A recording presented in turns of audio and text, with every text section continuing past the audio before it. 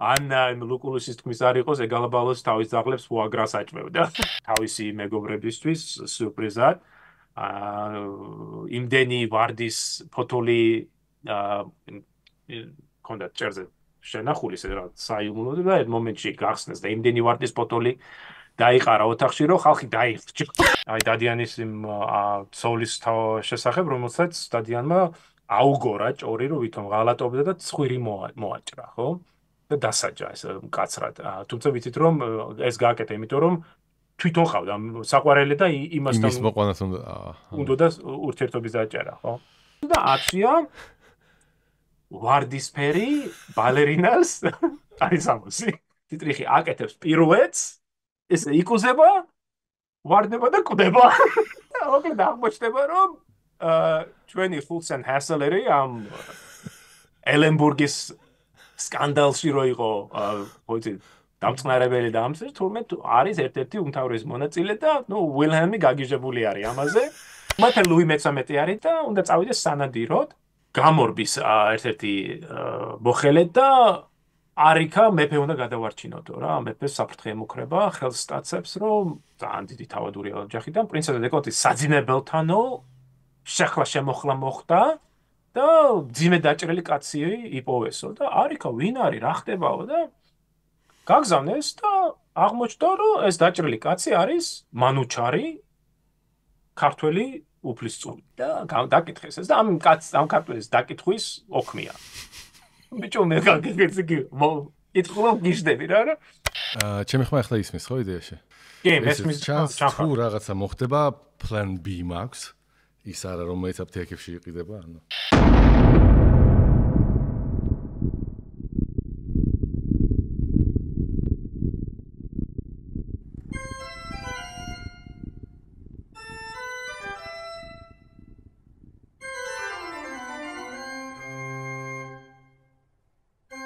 ეთერშია მეცნიერება ყველასათვის, სამეცნიერო გასართობი პოდკასტი. 2023 წლის გერდა უკვე 24 წლის პირველი ეპიზოდი. და სტუმრად გვყავს ბევრისთვის საყვარელი აა ალექსანდრე მიქაბერიძე. აა და ისე ბევრი გეგმები გვაქვს ხოლმე, ну, ყოველ შემთხვევაში მე მაქვს. თემატური გადაცემებიც, რაღაცებზე, ისტორიულ ფილმებზე საუბრებით, მაგრამ აა გამოდის ის რაც გამოდის და ერთ-ერთი შემოთავაზება ახლა რაც იყო ალექსანდრეს ხრიდან იყო ესეთი რამ რო გავაკეთოთ გადაცემა მეჯლისების როლზე ისტორიაში. ისევ დამითულია შენი ხმა, არ ვიცი რა ხდება. არა, არა, მაგრამ მე მაშები, იმიტომ რომ აა თან საფსახურში რო ვარ, ინელები მომდის და მეთქი ახმები ხმა არ გამოჩნდეს. აა ეხლა შენი მალები ჩემსგან. ეხლა მე შენი მალები, მაგრამ აი გამოჩნდები აჰა გეგმა B გეგმა B უნდა მუშაობდეს მაგრამ რაღაც ცუდე სანამ მე გამოვასწორებ გამოსახულებას შენ ისაუბრე ხო შენ არ მაჟენტა პერებში ხარ აა იცი რა ისტორიას ათასნაირად შეგიძლია მიუდგე აკადემიურად ხო სამხედრო პოლიტიკური ეკონომიკური კულტურული რა იცი გენდერული მიდგომა ათასნაირი არის მაგრამ აა მაგრამ კლიენტობაში ახლა ჩემთვის ისტორია არის მაინც ადამიანის გამოცდილებაზე ხო ადამიანის ისტორია რაღაცა. ის როგორც ჩვენი წინაპრები, ფრანგები იქნებიან ეს თუ ბრიტანელი თუ იაპონელები, აი მათი გამოცდილებები, იმიტომ იმდენი საინტერესო ამბავი არის ხო ამ ისტორიაში. აა რომელიც არგა წარმოაჩენს, თქვათ, საზოგადოებას ერთის მხრივ და მეორეს მხრივ ის რომ აი არაფერი უცხორო არ არის. და მაინც ერთ-ერთი მე სტუდენტებს ვეუბნები ხოლმე რომ აა ბევრი რამ იცვლება სოფლიოში, მაგრამ ამ სამსახურში, მაგრამ ადამიანის აა ცვალებადობა ერთ-ერთი მუდმივი რამ არის, ხო? ის რომ ის რომ აა ანა ნუ პროსტორეთ ის რომ ადამიანის ხასიათი მაინც იგივე რჩება და ბევრი რამ ხასიათის თვისებების ფრეი ჩვენი მისტრაფებები, ამბიციები, ამპარტავნობა იქნება ეს თუ სხვა. აა ისე გვეცნობა, თქვა ოდისევსის მოგზაურობას ან ილიადას კითხულობ, როგორც დღეს, ხო? და ერთ-ერთი მომენტი, როდესაც ჩემ სტუდენტებთან მაქვს ხოლმე ურთიერთობა, არის აი ადამიანების ვთქვათ დროს როგორ ატარებდნენ, მაგრამ ახლა თქვენ მეჯლისები იქნება წვეულებები თუ რა, მაგრამ აი ამ მეჯლისების როლი ისტორიაში. აჰა სხვათა შორის მე ხა დიდი გამოცდილება მეჯლისებში არა მაქვს, მაგრამ ერთხელ ვნახე after ანუ როგორ ლექციის შემდეგ drinks რო ეძახე, რასაც ეძახია რა. აი მან როგორ გადაწყდა რამოდენიმე საზაფხულო სკოლის მოწყობის ისტორია. ოღონდ ერთ drinks-ში გადაწყდა რომ სერია ჩატარდება სამი სკოლის, დაიწყებდნენ დაიწყებენ ყაზახეთში. იმიტომ რომ მაგათ ბევრი ფული აქვს და მე მოყვებიან პოსტებში და გვეყნებს. აი ძალიან საყვარელი ისიც იყო საუბარი. იმის გათვალისწინები ჩვენ ადამიანებს როგორ გვიყვარს ცოტა დალევა გართობა, არ გასაკვირი არ არის რომ ძალიან ბევრი საჭიროა და საკითხი. წნებოდა სწორედ ეგეთ ვითარებაში. ოღონდ ისა ფიზიკის ელემენტარული მაღალი ენერგიების ელემენტარული ნაწილაკების საზაფხულო სკოლებზე არის საუბარი. ხაცა ფიზიკოსებს კი გიყვარს დალევა იმედი მაქვს. არა როგორ გეკადრება ჩვენ და დალევა? არა ხო არა ხო. ანუ ჩვენ საუბრობდი ადამიანებს და ფიზიკოსები მაინც სულ სხვა.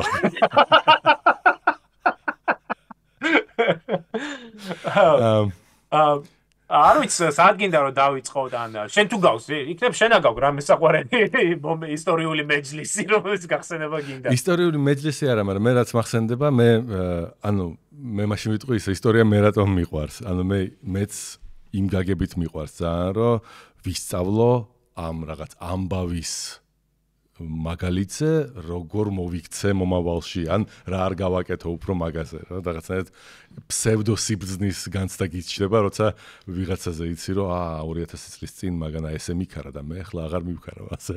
მაგალითად, არ დავედევნები უკან უკან დახეულ მტერს და არ გავებები ხაფანგში. ძალიან პრაქტიკული ისენი ხო ხტები.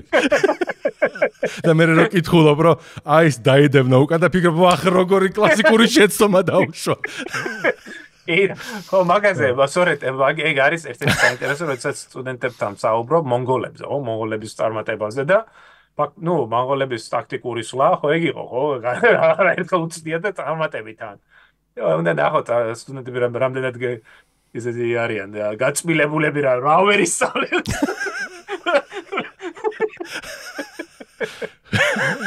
აა ხოდა შეიძლება ერთ ერთს გავიხსენებ, მოდი მე დავიხსენებ. მოდი მოდი ერთს უბრალოდ დავამატებ იმას, პატარა იმას შესავალს, ანუ ხოდა მეც ამ რო გამომხოვრო შენს კონსტანტას რაც არის ისტორიაში. აა პირველად როცა მომაჩეჩეს ციგნი აა 12 კესის ცხოვრება თუ პლუტარქი, მე მგონი 12 კესის ცხოვრებით დავიწყე. მან გამიკვირდა რამდენად თანამედროვე ენით წერს ადამიანი იმაზე რაც ხდება მის გარშემო და რო ფიქრობ რომ ანუ აი ის იყო ალბათ სრულწმენებით გაჯერებული ეპოქა და იქ თქვათ ეკითხულობ რაღაცა მოგიყვა ლეგენდა მე გეუბნება ნუ ახლა ამას ხომ ვიღაც ბებიებს ჯერა მარტო ამის და სინამდვილეში ალბათ რაღაც სხვა იყო მაგრამ როგორიც აი ის ისეთი ტონი წერს რომ ხვდები რომ აი ეს უბრალოდ იმიტომ თქვა რომ თქვას რაღაც და მე მოდის რაღაცა რომ აი საერთოდ გაუგნებული ხარ ეს როგორ მაშინ უკვე ხდებოდა მე მეგონა ეხლა.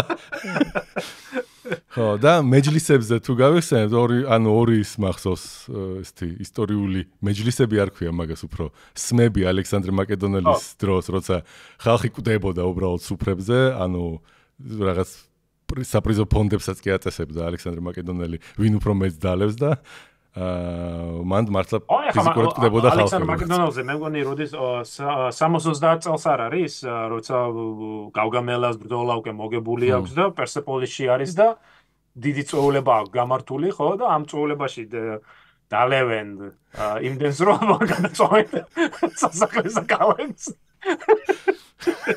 ხო მე საინტერესო სმეპში უფრო ბევრს კარგავდა ჯარისკაცებს თუ ომებში მაგრამ ხო და მეორე მეორე ახსენდება იმის რატომაც ახლა ნუ ბევრი არის რა თქმა უნდა რომშიც მაგრამ ლუკულუსი როცა თავს ლუკულუსი როცა იმედგაცრუებული დაბრუნდება და მოკლედ არც აღიარებენ ხედავთავად რატომღაც რომ გადავარდება ამ სმაჭამაში და მანდ ისე ქონდა მოწყობილი რომ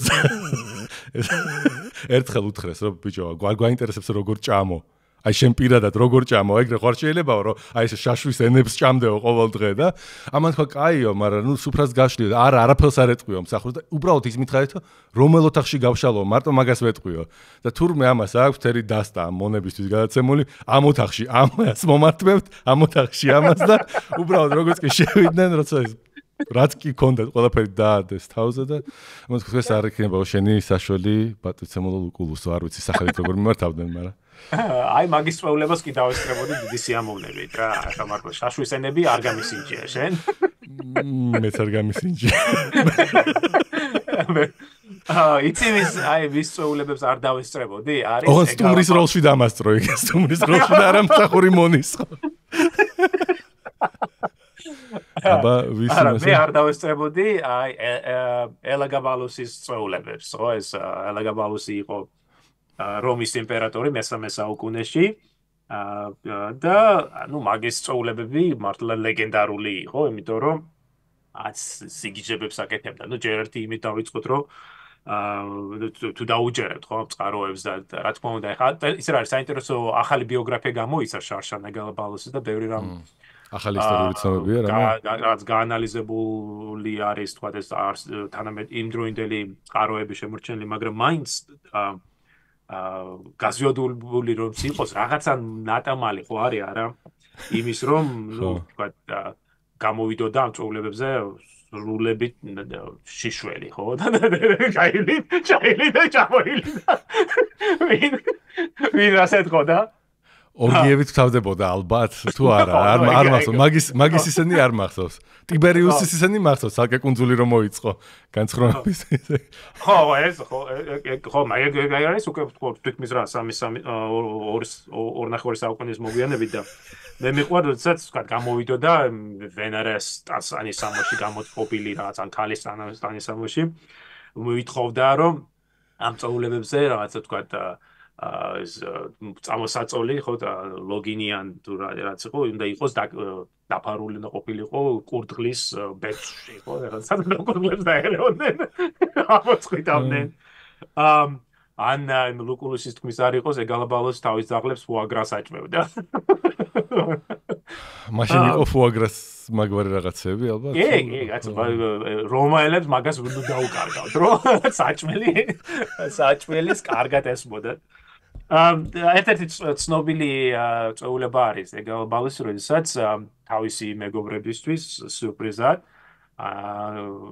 იმდენი ვარდის ფოთოლი კონდა წერზე შენახული რა საიმუნო და ერთ მომენტში გახსნეს და იმდენი ვარდის ფოთოლი დაიყარა ოთახში რომ ხალხი დაიხჭა.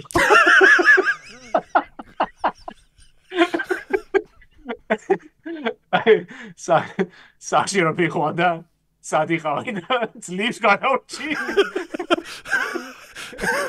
ანუ მეგობართან ვიყავის დასალევად სულ სხვა იმეს ვიღებს ხო საფრთხის შემცველობა. ხო. შენთვის რო წახარ წამოწოლილი და სვა. ვარდის ბოკლები გწუვა და იხჭობი მაიც რა. აა არ არის გასოპირი რომ ეგ ალბათ მეგონ 18 წლის იყო რომ მოკლეს. აა აა აგონებეთა. აა მაგრამ ჩემთვის ეს ერთ-ერთი ყველაზე ისეთ საინტერესო წვეულება ცოტა ისე რომ გადავხდეთ აა დროში არის. აა როდის არის? 1900 აა მე მგონი 8 წლის არის 1900 1908 წლის 14 ნოემბერი. 14 ნოემბერში. 14 ნოემბერს ავართ გერმანიაში. აა სოციალიზმის ბატენ-ვურტემბერგში თავის ახალგაზრდობაში ვარ ნამყოფი. აა და იქ არის ძალიან საინტერესო დონაშინგენის ეს სასახლე და მოკლედ აქ არის დიდი წვეულება რა.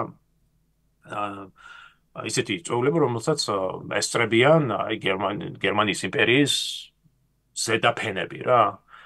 აა მათ შორის არის რა ქვია გენერალი გერმანული ჯარის გენერალი დიტრიხ ვონ ხულსენ ჰესელერი. რომელიც არის აი იმპერატორის მარჯვენა ხელი, ადიუტანტი, დიპლომატი, რა ვიცი, გამოჩენილი, რა ვიცი, სამხედრო ფიგურა, არის რა ვიცი, ну, სრული გენერალი არის და ამ დროს, ამ 1908 წელს არის გერმანული იმპერიის იმპერიის სამხედრო კაბინეტის თავმჯდომარე, ანუ ერთ-ერთი უმთავრესი ანუ მაშინ ესე იგი კაიზერი არის ვილჰემ მეორე, თუ სწორად გახსოვს? ხო, მეორე, მაგრამ ბისმარკი გადამდგარია თუ არის კიდე? არა, განამგარი არის და გაუშვით მარიუსზე და ეს ტიპი, ну, მოკლედ. და მოკლედ ამ ამ ტიპს აქვს პრობლემა რა, ამ ამ ამ ჰასელ ჰულსენ ჰასელერს რომ 1907 წელს, ანუ ერთი წლით დაახლოებით ადრე, გერმანულ პრესაში დაიწყო აგორდა ეს კამპანია, რომ აა სამხრეთ ამ გერმანული ჯარის ზედა ელიტაში არიან ჰომოსექსუალები და ნუ არის ეს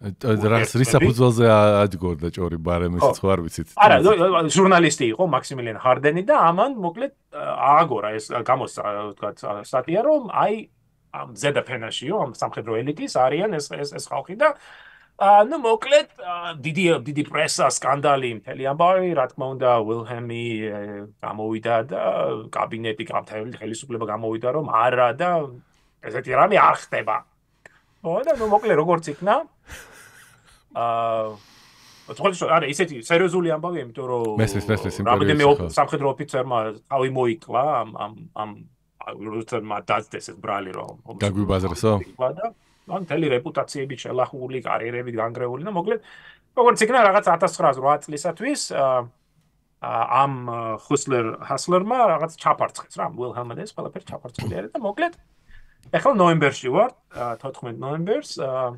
ეს წავიდნენ საკეიფოდ. ჯერ სანადიროდ და მთელი დღეა ნადირობენ, მოკლედ მთელი ამბავი არის.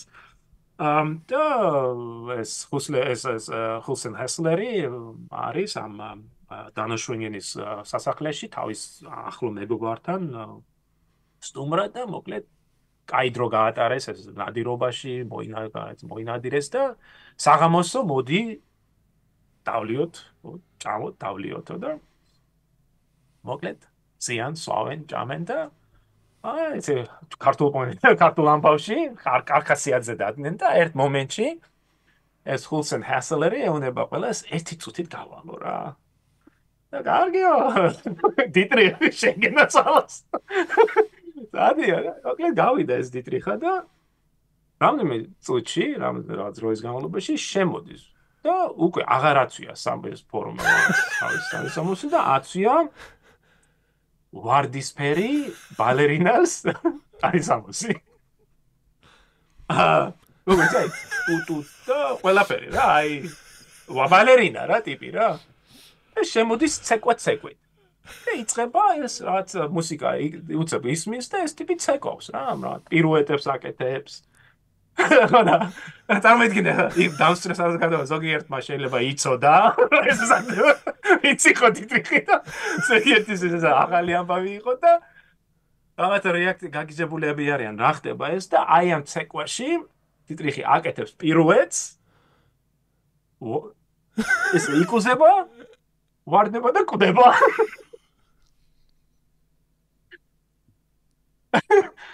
ხოდა ოკლე აღმოჩნდება რომ ჩვენი ფულსენ ჰასელერი ამ ელენბურგის სკანდალში რო იყო ხოიცი დამწყნარებელი და ამზე თურმე არის ერთ-ერთი უმთავრესი მონაწილე და ნუ ვილჰემი გაგიჟებული არის ამაზე. ამ და იწება ახალი ტალღა ამ სამხედრო გერმანული სამხედრო ელიტის გაწმენდვის რა. თქვა 1908 წლის. ამ და თვითონ ეს მომენტი ძალიან ისეთი ჩემთვის წარმოსა როცა ნახავ პორტრეტს რა ამ ხულსენ ჰესელერის ეს ტიპი არის ცოტა ჩაპუტკუნებული კარგი მჭამამს მეის მოყვარული და რო წარმოვიდგენ მას გამოწყობილს ამ ბალერინაში და უცებ რო შემოდის მართლაც საუცხოო სანახავი იქნებოდა რა. იცი რა შეიძლება ეს უბრალოდ იუმორისტული ნომერი იყო რა. იცი იცი ხოლმე შენს ჭორების გამობმა რა რაღაცეებზე რა. აა ხო ხო რა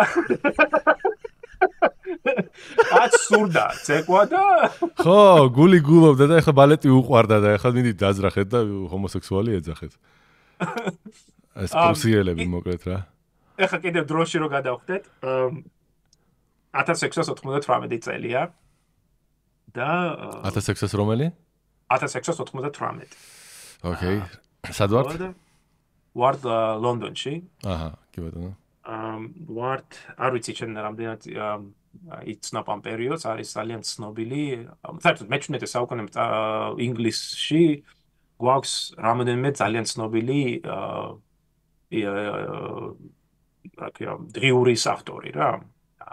BBC სამო BBC რომელმაც მართლა საოცარი რამ დაწერა ჩუმად წერდა ამ დღიურს წლების წლების განმავლობაში და ფაქტობრივად ყოველი თავის ცხოვრების ყოველ დეტალს რა იქამდე ტბილს იქავდა თუ არა უჩი რამდენჯერ გადიოდა თავის ცოლთან რამდენჯერ ქონდა სექსი აი ეგეთ რაღაცებს იწერდა აი წლების განმავლობაში და ეს გამორჩემ გვაქვს შემონახულ გამოცემულიც არის მრავალ ტომად. მაგრამ მასთან ერთად ცოტა მოგვიანებით არის ეს ეს დღიურის ავტორი დონ ეველი ძალიან საინტერესო ტიპი არის. და მოკლედ ჯონ ეველინს აქვს სახლი საკუთრებაში ლონდონში და ამ სახლს ქირაობს ერთ-ერთი ბრიტანელი ადმირალი აა რომელმაც თავის მხრივ როგორც ბრიტანელი ადმირალია ბენბო რომელიც თავის მხრივ აა აკირავებს ამ სახლის ნაწილს ლონდონში ახლა ჩამოსულ პეტრე დინს რუსეთის ოჰე ხო? მომავალ იმპერატორს ან ამ დროს მეფე არის, ცარი, ხო? მოკლედ. მაგრამ პრინცი ამალდას თუ უკვე მეფე არის, ანუ მეფე არის უკვე, ანუ გამეთებული არის, მაგრამ არის აი ამ დიდი ელჩობა რო წამოიწყო, ხო ის დრო არის და მოკლედ არის ლონდონში ჩამოსული, წარმოიდგინე ახლა აყლაპობა და ტიპი, ხო, რომ ერთ-ერთი ყველაზე მაღალი ბოლოს და ბოლოს იყო ქართველი თუ არა, შენ მაინც გეგვარკვია. ვაიმე ვაიმე აა ეჭვები მაქვს ო ვაიმე ეჭვები მაქვს ვადი ამ რაც მაგრები ვართ ქართველები ვართ თუ არა? მითხრა აი სტალინს რა უთხარი მაგრამ მაგის არის ძალიან საინტერესო სტატია. აი ასწორეთ ამ ამ თემაზე. აი ვიცი ვალერიან ვალერიან. დამავიწყავ გაბაშულიც ერთ ვიღაცის რომელიც იხსენებს, აი საუბრებს ბერძენის შულთან სხვებთან, რომელიცაც ქონია თურმე ამ საკითხზე საუბრები სტალინთან და მოკლედ სტალინმა ჩაპარცხაო ეს საკითხი. მაგრამ არის თუ არა ჩაპარცხული, არ ვიცი, მაგრამ თუ არ დაინგრა ეს ქვეყანა და მანამდე არქივში თუ არ შევძვერი, მაგას ვერ გავარკვე. და იყო თუ არა, ну ტიპი კოლორიტია, ხო, ეს ხო, ოკეი. პეტრე და პეტრი არის წასული ამ დიდ ელჩობაზე და თან ყავს აყვანილი თელი ბანდაო თავისი აი სმელების. აა და მოკლედ პეტრი არის ჩასული ლონდონში და ნუ ეს არის ზამთარია მე მგონი იმიტომ რომ მდინარე გაყინული იყო თემზის თემზა და აა საკატაოდ უნდა წასულიყო ციგურებზე რა.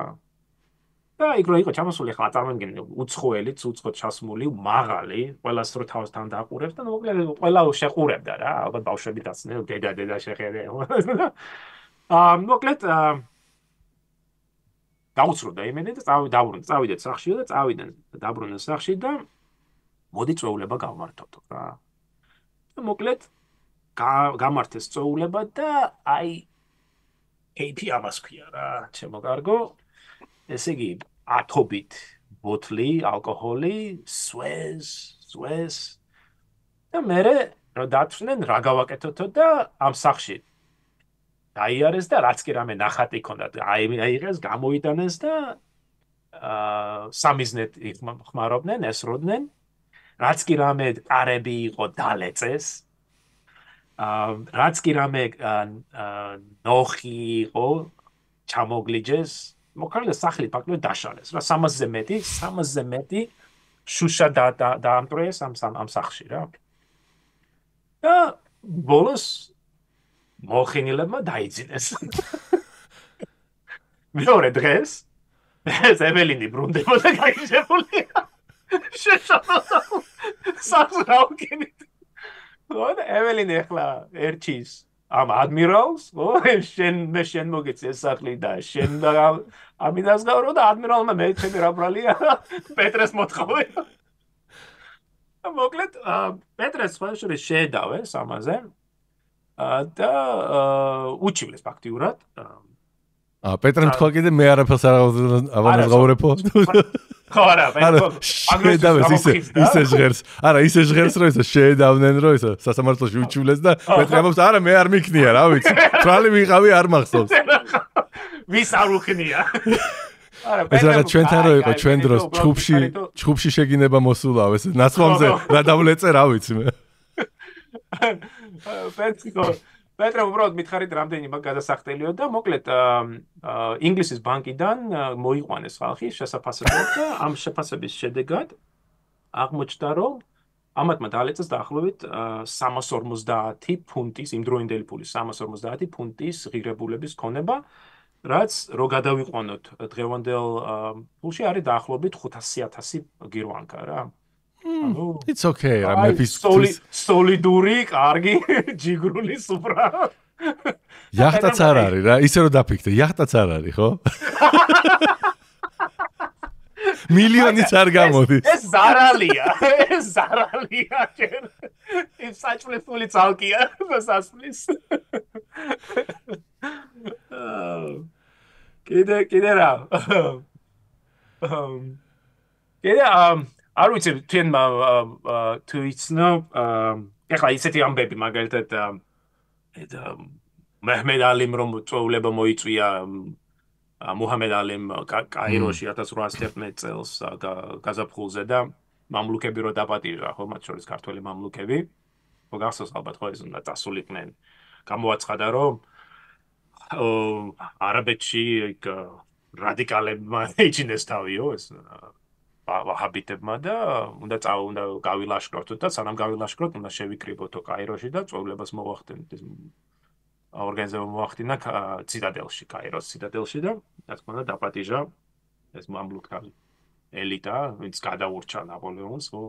და ეს ელიტა რო გამოცხადდა როგორც ვიცით მოჰამედ მენალიმ ჩასაფრება მოუწყო ხო? და ამოშლიდა ეს მამლუქები.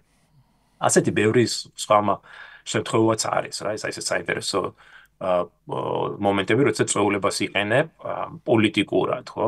აგე არაერთი შეხვედრია და საქართველოსიც ხო? თუ გახსოვს ალბათ კახეთის მეფემ არ ამოშლიდა მასე დავად აა თავისი თავადები ერთ-ერთ წვეულებაზე. მაგრამ მე იცი აი სხვადასხვა ესე რომ ვიმოგზაუროთ რა. აა სანამ ვიმოგზაურებ, მოდი ჩაგეძიები ორ ორ შეკითხვაზე რა. ერთი ეგეთი მემუარები არის ფილიპე დეკომინის, სადაც მან აღწერს მან აღწერს იმ მომენტს, როდესაც ბურგუნდიის hercoგი თუ მეფე ხდება საფრანგეთის მეფეს და რაღაც მოკეთ იმისთვის რომ ერთ მეორე არ გაეტაცა გისოსი ააგეს და რაღაცა გადავიდნენ ხიდზე, იმიტომ რომ მანამდე რაღაც ეპიზოდი იყო, რომ სტუმრად მივიდა ერთი მეორესთან და ამან დაატყვევა მეფემ და მე ფიქრობდა გაუშვა, არ გაუშვა, კი დაუპირდი, მაგრამ რა თმინდა ეგეთი შარი და მოგეთ მაგის შემდეგო ისეთი უსაფრთხოების წესები იყო ხოლმე მიღებული, რომ ტრისას და ხო, ანუ ხო გეუბნები გისოსი ხმიზმა და ისე შეხვედრებზე არის ლაპარაკი. არა, იცი, აი, ხოდა პეტრე რო ჩადის იმაში ბრიტანეთში არეშინია მაგის? აა, არა, ახლა მე თუ მაშინ რუსეთი იმდენად ხო, მე პეტრეზე ამბო, არა, რა თქმა უნდა, მithumetes რომ ახლა ამ ამ პერიოდში რუსეთის საფრთხეს არ არ წარმოადგენს როგორც ასეთის, ხო, ინგლისისათვის ან ჰოლანდიისთვის, ხო.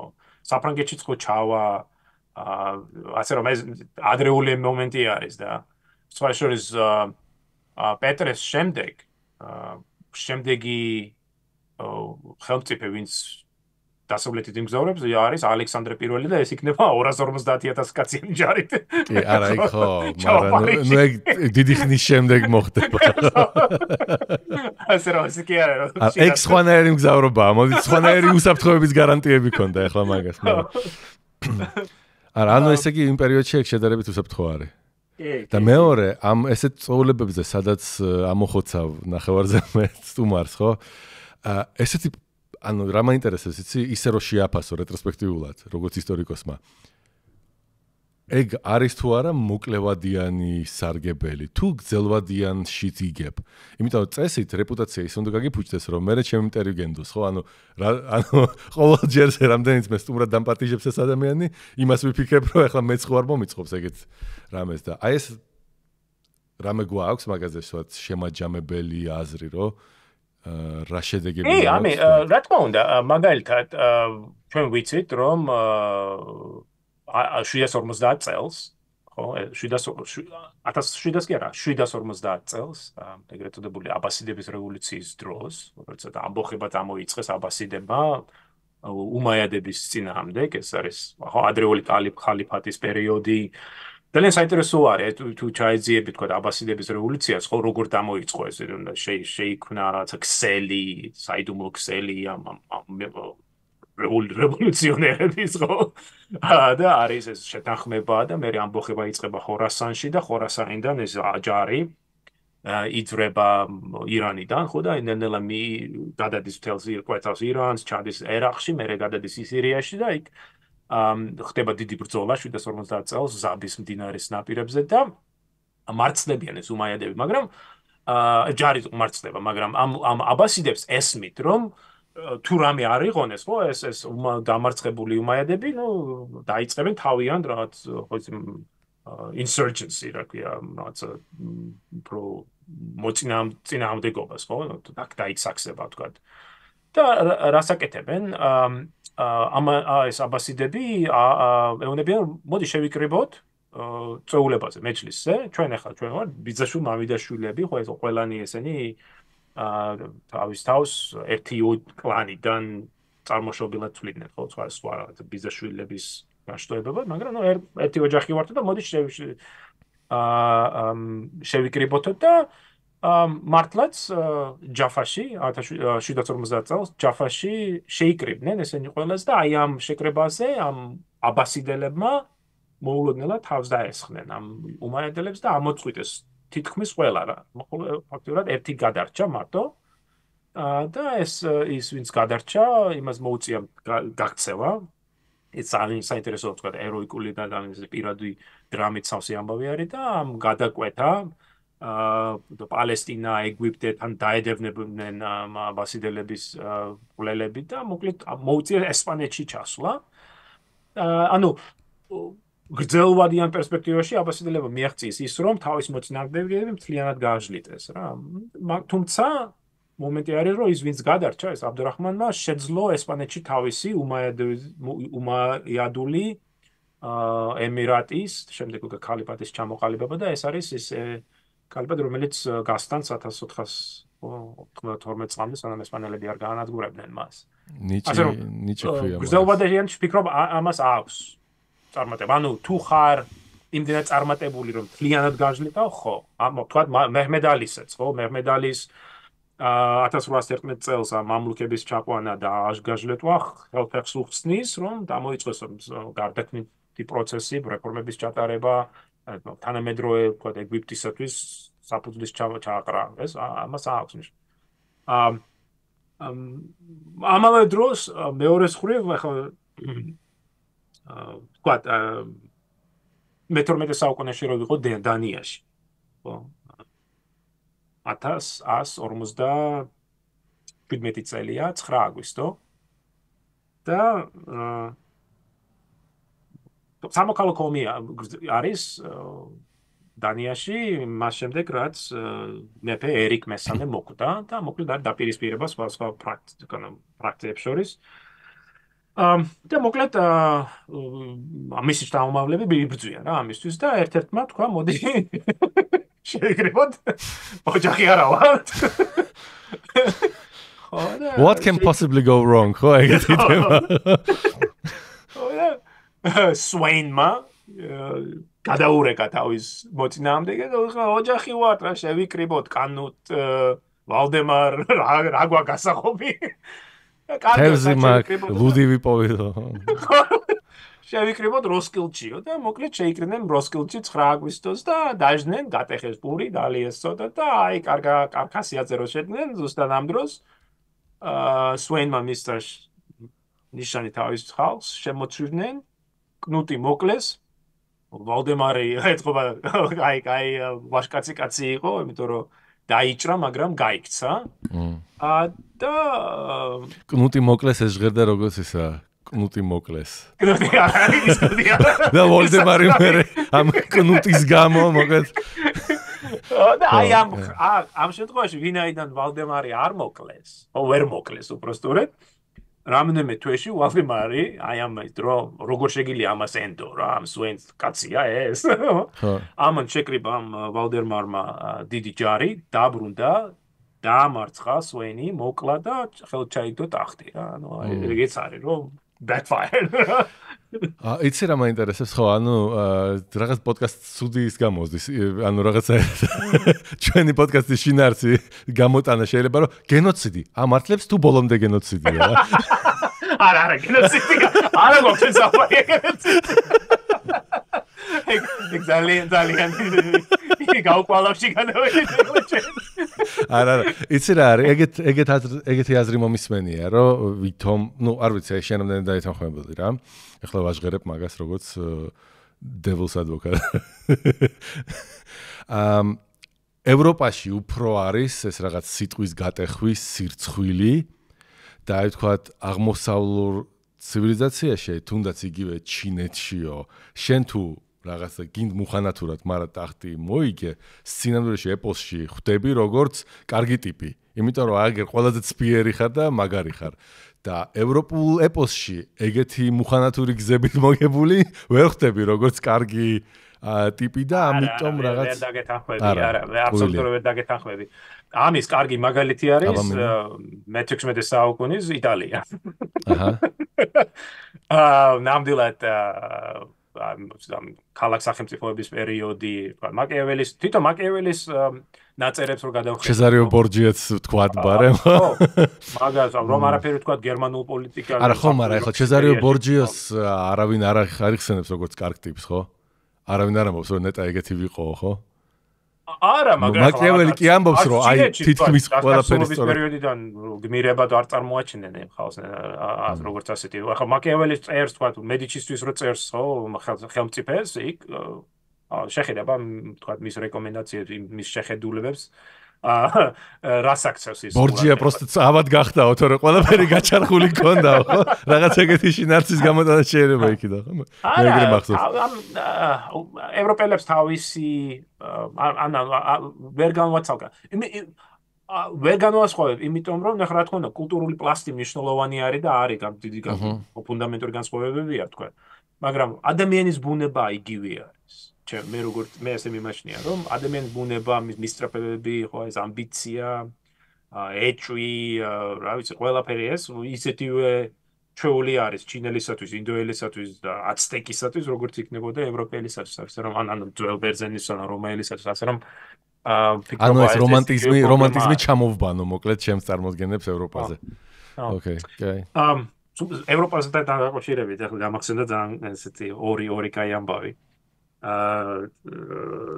ალბათ დავიწყე ალბათ ჩემ ანა ერთ ერთ მოყვები რომ არ გაგვიგრძელდეს ამბავი. აა 1300 რომელიც წელია 93 წელია. და საფრანგეთში ვარ ჩემს საყვარელ ქვეყანაში. და პარიზში. მე მგონი არის 28 იანვარი ანუ ჩემი დაბადების დღე 27-ში არის ასე რომ თითქმის დაემთხვა და ვარწოულებაზე აა მეფის მეფის ფრაფრანგეთის მეფის წვეულებაზე შარლს მე-6 არის ამ ამ ამ ესტრება მის მის სასახლეში არის ეს დიდი თავარია ეხლა ეხლა ეს ფრაგმენტი არ ამოჭრან. რაღაც წელიწადს რო ასახელებ და რო ამბობ ვარ წვეულებაზე და მე რეიწერება ალექსანდრე მეგაბერიძე. თან და კარგა რეალობის ასე საქმე აა ნუ მოკლედ აა რა ქვია ეს მეფე მეფესთან წველებაზე ვარ რა და ესტრებია მთელი ელიტა რა თავისი ცოლი იზაბელა ბავარიელი სხვა სხვა თავადაზნაურობა და მოკლედ მოკლედ კარგად кейპობენ რა ამ წოლებს წოლებებზე იყო ჩამოსული ძალიან ისეთი ამ ტიპი რა ცოტა თავადი, მაგრამ ცოტა უკმეხი რა ცოტა უჟმური ხასიათის. აა მაგრამ ნუ ატიპს უყარდა დალევა და თუ დალევდა ნუ დაელია კარგად და სახელად იყო უგე დგისე უგე დგისე და ეს უგე სვაუს კეიპოპს და მოკლედ მეორე დღეს მეორე გაგრძელება არის წოვლების და ამან რაღაცა ახალი მინდა გავაკეთო და გადაწყვიტა რომ ამ წოვლებაზე უნდა მოსულიყო აა უფრო წავიდა მეფესთან დააშნან და დაელაპარაკეს და შეთანხმდნენ რომ რაღაცა განსხვავებული გაეკეთებინათ და იქნებოდა რომ აა ყოველას ჩაიცმევდნენ ესე ჩაიცმევდნენ საგანგებოდ მომზადებულ რაღაც ფორმას და იქნებოდნენ ყველა იქნებოდნა ხის ტანის სამოში. ვის? ხი, ხე. ხის, კაი. აიცადე იწამით თუ შემილია ნახო ამას ამოჭრი მე მგონი ახლა იმიტომ რომ ეს კაი კაი მომენტი იქნება რომ გაჩვენო. ეს სნობილი ხის კოსტუმიც არის შემოჩენილია?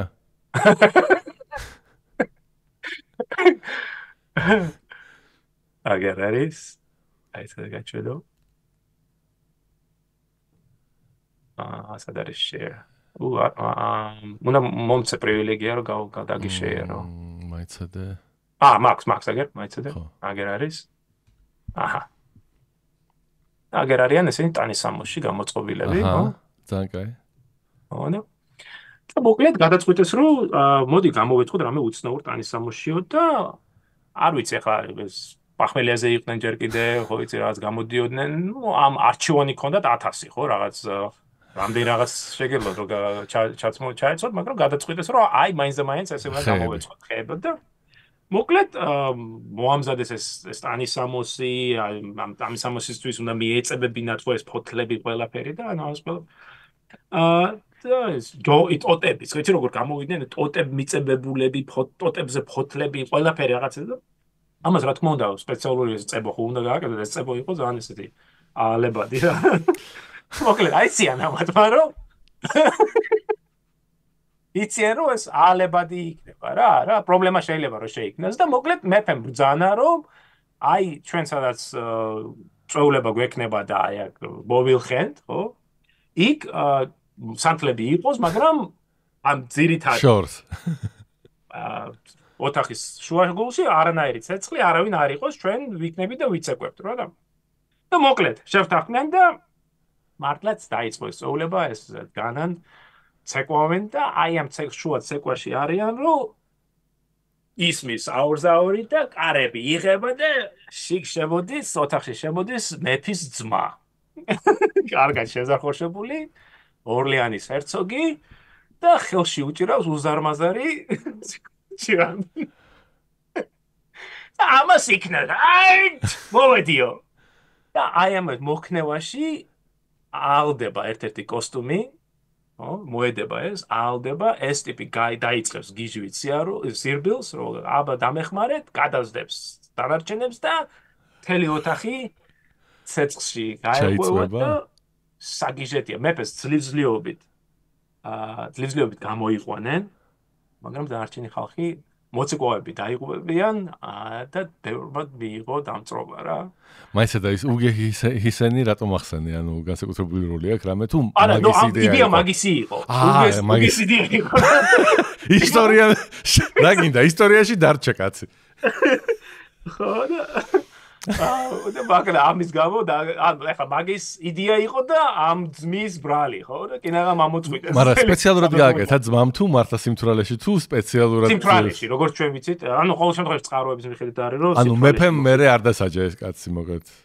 აა რა უნდა რა უნდა რა ვიცი ჩირაღა ჩირაღდი სამა დაეტოვებინა სადმე რა ვიცი.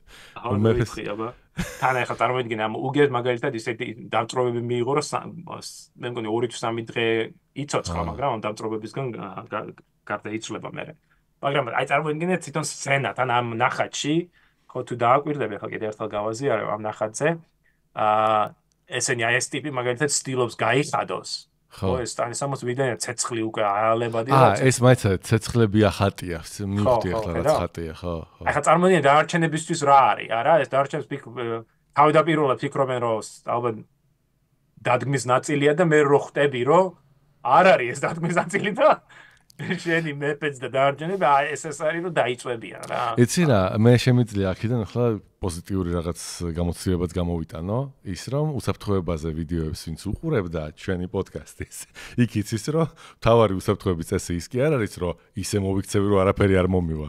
თავარი უსაფრთხოების წესია რომ მოხდება. და აუცილებლად მოხდება იმიტომ რომ მერფის კანონია. რას ვაკეთებ მე ამიტომ ჭკვიანი კაცი იქვე წყლის ავზებს დადიავდა გარშემო ყველგან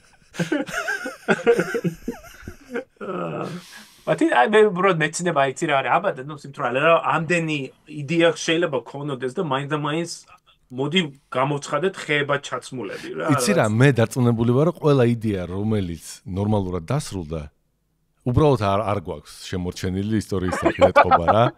ანუ ის ათასობით რა, სადაც აი ყველას გაუმართლა, არავინ არ მოკვდა ხო და აი ვიფიქრეთ დაიწובה სახს გადაწვავ, გადაბუქავ, ის დარჩება ისტორიაში. ალბათ ეგ არის ხო, გადარჩევის. ამას ამბობენ Amazon-ის რევიუებზე, როცა ძალიან ცუდი რევიუ არის, მაგასაც ნუ მიაქცევთო ძალიან ყურადღებას, ერთეული თუ არის. ეხლა სტატისტიკურად თუ შეგროვ და სხვა არის, მაგრამ როგორც წესი ყვაყოფილი ადამიანი ძალიან ან ძალიან ყვაყოფილი წერს რევიუს, ან ძალიან უკმაყოფილო და ეხლა საშუალო იმან შეიძლება არც დაწეროს რა იყიდა და იყიდა. ამიტომ ეგ იქნება ალბათ. რა ვიცი. შენ ხო არ გახსენდება რამე კაი, კაი ამბავი? მე ვიცი რა, მე უფრო მეგონა რომ სხვა კუთხით წავა ეგ ყველაფერი, უფრო იცი რა კუთხით, რომ აი მეჯლისი რომელზეც რაღაც დიდი გადაწყვეტილება მიიღეს. აი ეგეთი ხო არ გახსენდება? ასეთი, ალბათ ყველა მეჯლისი ეგეთია, იმიტომ რომ ალბათ ყველა წვეულება მეჯლისით თავდებოდა და ის მეჯლისით იწყებოდა. ხო, დიდი გადაწყვეტილება რომ მიიღო იქნება კონგრესი. და მასეთი კონგრესი მაგალითად შეგვიძლია გავიხსენოთ, თქვათ, ბერლინის კონგრესი. აა რომელიც ჩატარდა 1883 წელს, ხო, ბერლინში, ბისმარკი ხელმძღვანელობდა მას ჯერ კიდევ. ა ძალოფლებაში იყო და ამ აი ამ სწორედ აი ესეთ წვეულებაზე, უკვე მართლა ძალიან მნიშვნელოვანი გადაწყვეტილება მიიღეს შეთანხმდა 83-ში რომ შეიკრიბებოდნენ თვითონ შეხვედრა 84-ში გაიხსნა და სწორედ აი ამ თუ შეგვიძლია უწოდოთ ხო მე უზარმაზარი ოთახი თითქმის ყველა მე მგონი 14 ქვეყნის წარმომადგენელი ესწრებოდა ავსტრია, უნგრეთი, რუსეთი, ოსმა და ასე შემდეგ რა. Ну, რუსეთი საფრთხე ასე.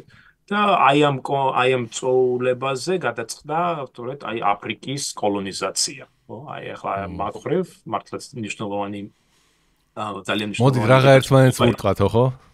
მაგონო? რაღა ერთმანეთს ვურტყათო, ხო? ხო, ნუ ფაქტობრივად დაიწყო, რასაც ინგლისურად scramble for Africa, ხო, უძახით, აი ეს პროცესი ფორმალურად რომ შეიძლება ითქვას, იწება აქიდან, ხო, წინა წინა პერიოდშიც იყო, ევროპული კოლონიზაცია აფრიკაში, მაგრამ ამ აი ახალი იმპერიალიზმის პერიოდი, სწორედ ბერლინის კონფერენციიდან იწყება და ეს აქ ხდება შეთანხმება ფუნდამენტურ პრინციპებზე, მათ შორის ეფექტურ ოკუპაციაზე, რომელიც უკვე განაპირობებს, თქვა, აფრიკის დანაწილებას და მათ შორის, ნუ იმ კოლონიალურ დაპირისპირებას, რომელიც შემდეგში უკვე პირველ სოფლიო ომში გადაიზრდება, ასე რომ ამ ხრივა მნიშვნელოვანი.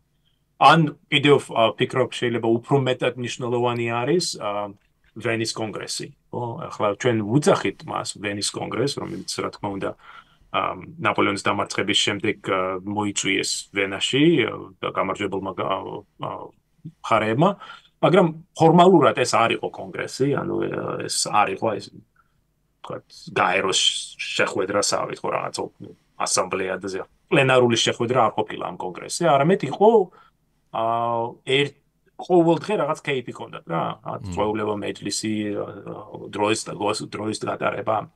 ამ ხრევ ძალიან საინტერესოა, გამოცემული არის ავსტრიული პოლიციის მოხსენებები, იმიტომ რომ ავსტრიული პოლიციას ხოდა ძალიან დიდი ქსელი თავისი აგენტების და ყველაფერს ადევნებდნენ თვალს რა, ვინ ვისთან დადიოდა, ვინ ვისთან ატარებდა ღამეს, ხო, ძალიან ცნობილი მომენტია რომ ეგეთ მეტერნიკი და ალექსანდრე რუსეთის მეფე რო ერთ ერთ იგივე ხალთან კონდათ ურთიერთობა. ამის გამო ეს მომენტი ალექსანდრე მეტერნიკს დუელში იწევს, ხო? და და სწორედ აი უმნიშვნელოვანესი გადაწყვეტილებები, რომლებიც აა მე შენ უკვე ევროპის ისტორიას განა განაპირობებს, ცulis ფაქტიურად, ყოველ მომდენო 40 წლის განმავლობაში მიიღეს სწორედ აი ესეთ მეჯლის, აი ესეთ პატარა წვეულებებზე და ამ გადაწყვეტილებებს ღებულობენ ფაქტურად თიძე ჩამოსაცვლელი ხალხი, ხო? ეს ალექსანდრია რუსეთის, მეტერნიკი, ბრიტანეთის წარმომადგენელი, კასლრი, შემდეგ ველინგტონი, რუსიდან ჰარდენბერგი, ჰარდენბერგი ძალიან ისეთი საინტერესო ცნაური ტიპი იყო მექალთანე, მაგრამ ცოტა ეს ახალგაზრდა გოგონები მოწონდა. და რა თქმა უნდა ტალერანტი საფრანგეთის წარმომადგენელი რომელიც ძალიან ცნობილი პიროვნება არის. და ესტორეთ აი ამ პირად დონეზე პირად ურთიერთობაში სანამ საჭმოს სვამენ ჭამენ და სასმელს მიირთმევენ ფაქტურად წვეტავენ ამ საჭირო ბოროტო საკითხებს, რომელიც უზარმაზარ მნიშვნელობის არის, მათ შორის მაგალითად პოლონეთის ბედი.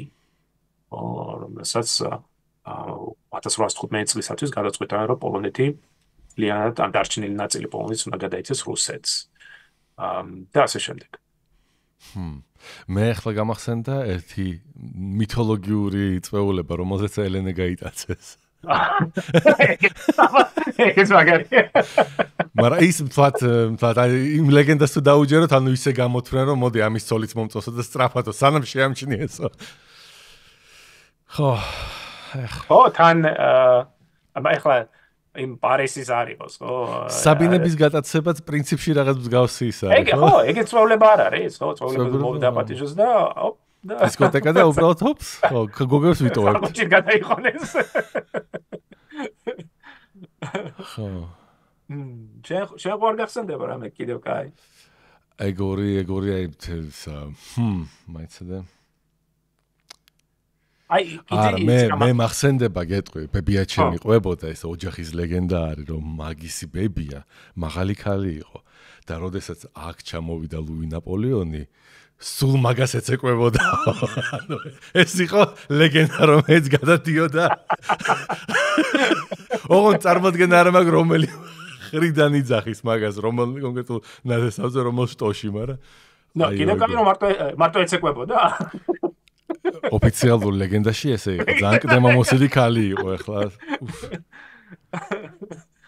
აა აი ერთ-ერთი ესეთი ძალიან ტრაგიკული და ფიქრობ თან გზელვადიან თვალსაზრისით მნიშვნელოვანი არის არ ვიცი თუ ის თუ თუ იცნობენ აი ხოდინკაზე მოხდა არის ტრაგედია 1896 წელს ამ თუ გახსოვს ესე იგი რუსეთის იმპერატორი ალექსანდრე ხვდება 94-ში ხო მისი შვილი მოდის ნიკოლოზი მეორე აჰა მოდის ადის ტახტზე და 96 წლის 1896 წლის მაისში ხდება მისი კურთხევა, ხო, იმპერატორი. ამ და მოკლედ მისი და მისი მეუღლის ალექსანდრეს კურთხევა და ამის კურთხევის შემდეგ არის დიდი ბანკეტი. ხო, რა წრეულება. და აა ეს ეს კორონაცია იყო 26 მაისს და 30 მაისს ცალკე გამოცხადა რომ იქნება დიდი მეჯლი, ну მეჯლის შეგვიძლია უწოდოთ ალბათ, რომ ხალხისთვის, რომ აი აღნიშნოთ რა. და მოკლედ მოსკოვთან, მოსკოვის გარეუბანში იყო დიდი მინდორი, ხოდინკას მინდორი და აი აქო მოდი გავშალო დიდი სუფრები, 150-ზე მეტი დიდ გრძელი ესეთი სუფრა იქნება, იქნება ასევე სხვა სხვა ადგილები, სადაც ხალხშეულებოდ უფასოდ სახალხო ნადიმი ბატონო? იქაური თბილისობა სახალხო ნადიმი თბილისობა? მოსკოვა და მოკლედ გამოცხადა ეს და აი იმ ღამით 29 მაისიდან 30 მაისამ მაისისკენ ესე ღამით გავწელდა ჭორი რომ იქნება არა მარტო საჭმელი არამედ იქნება უფასო საჩუქრები რა. რომ ხალხს მისცემენ საჩუქრებს რა. და აი აი ამ რაც ცნობა მამამ ჭორმა რომ არიქა საჩუქრები იქნება და მარტო პირველ რამოდენმე თქვა 1000 შეხვდება და დაარჩენს არა გამოიწვია ეს რომ გამთენიისას აი ეს უბრბო ათასობით ხალხი მოაწყდა და აი ამ მოწყდომაში დაიწყეს გადათელვა ერთმანეთის და აი მართლა უზარმაზარ ტრაგედია მოხდა. აა 1000 ოფიციალურად 1282 კაცი მოხდა, ადამიანი მოხდა. ქალით, კაცით, ბავშვით და რამოდენმე 1000 დაშავდა რა. და აი ამ ამ ხრევს მნიშვნელოვანი არის, რომ აი არტიკოს მეფეს გამეფება და ეს ტრაგედია ერთმანეთს ხო რა შეთავსება შეთავსდა რა თითქოს შავი ლაქასავით თითქოს უკვე გასაგები იყო რითი დამთავრდება ეგეთი დაწყება რა მე ხო სისხლიან ნიკოლოს უძახოდნენ უკვე ამ ამ აა მაგის გამო ამ მოვლენების შემდეგ. მე მეგონა ის რომ დაშალა მიტინგი 905-ში დაშალა ხო? 1905 წელს ხო, ეგ უკვე მე მეგონა მაგის შემდეგ ეძახდნენ სისხლიან ნიკოლას. ო, ანუ მაგ ეგ სახე მეტსახელი ამ დროიდანაც უკვე შეიმჩნევა, მე რა თქმა უნდა დროის განმავლობაში ჩაქრება და მე 1905 წელს ისევ ამოტივტივდება ამ იანვრის მოვლენების შემდეგ. ჰმ. ეცერა გუგენოტების ღამე გამახსენდა? პრინციპში არ ვიცი, მე მგონი ესეც წვეულება არის, რომელიც ისე ხოცაჟლეტით დამთავრდა. მაშინ აი, მაგი არის მნიშვნელოვანი იმ იმ თვალსაზრისით, რომ შენ რო ამბობდი, რომ თქვა აა ამართლებს თუ არა. ხო? ახლა წარმოიდგინე ეს ბარტოლომის ღამის კვლელობაზე ვამბობთ, ხო ჩვენ? ხო, ხო. აა რომელიც 24 აგვისტოს იწყება 1572 წლის.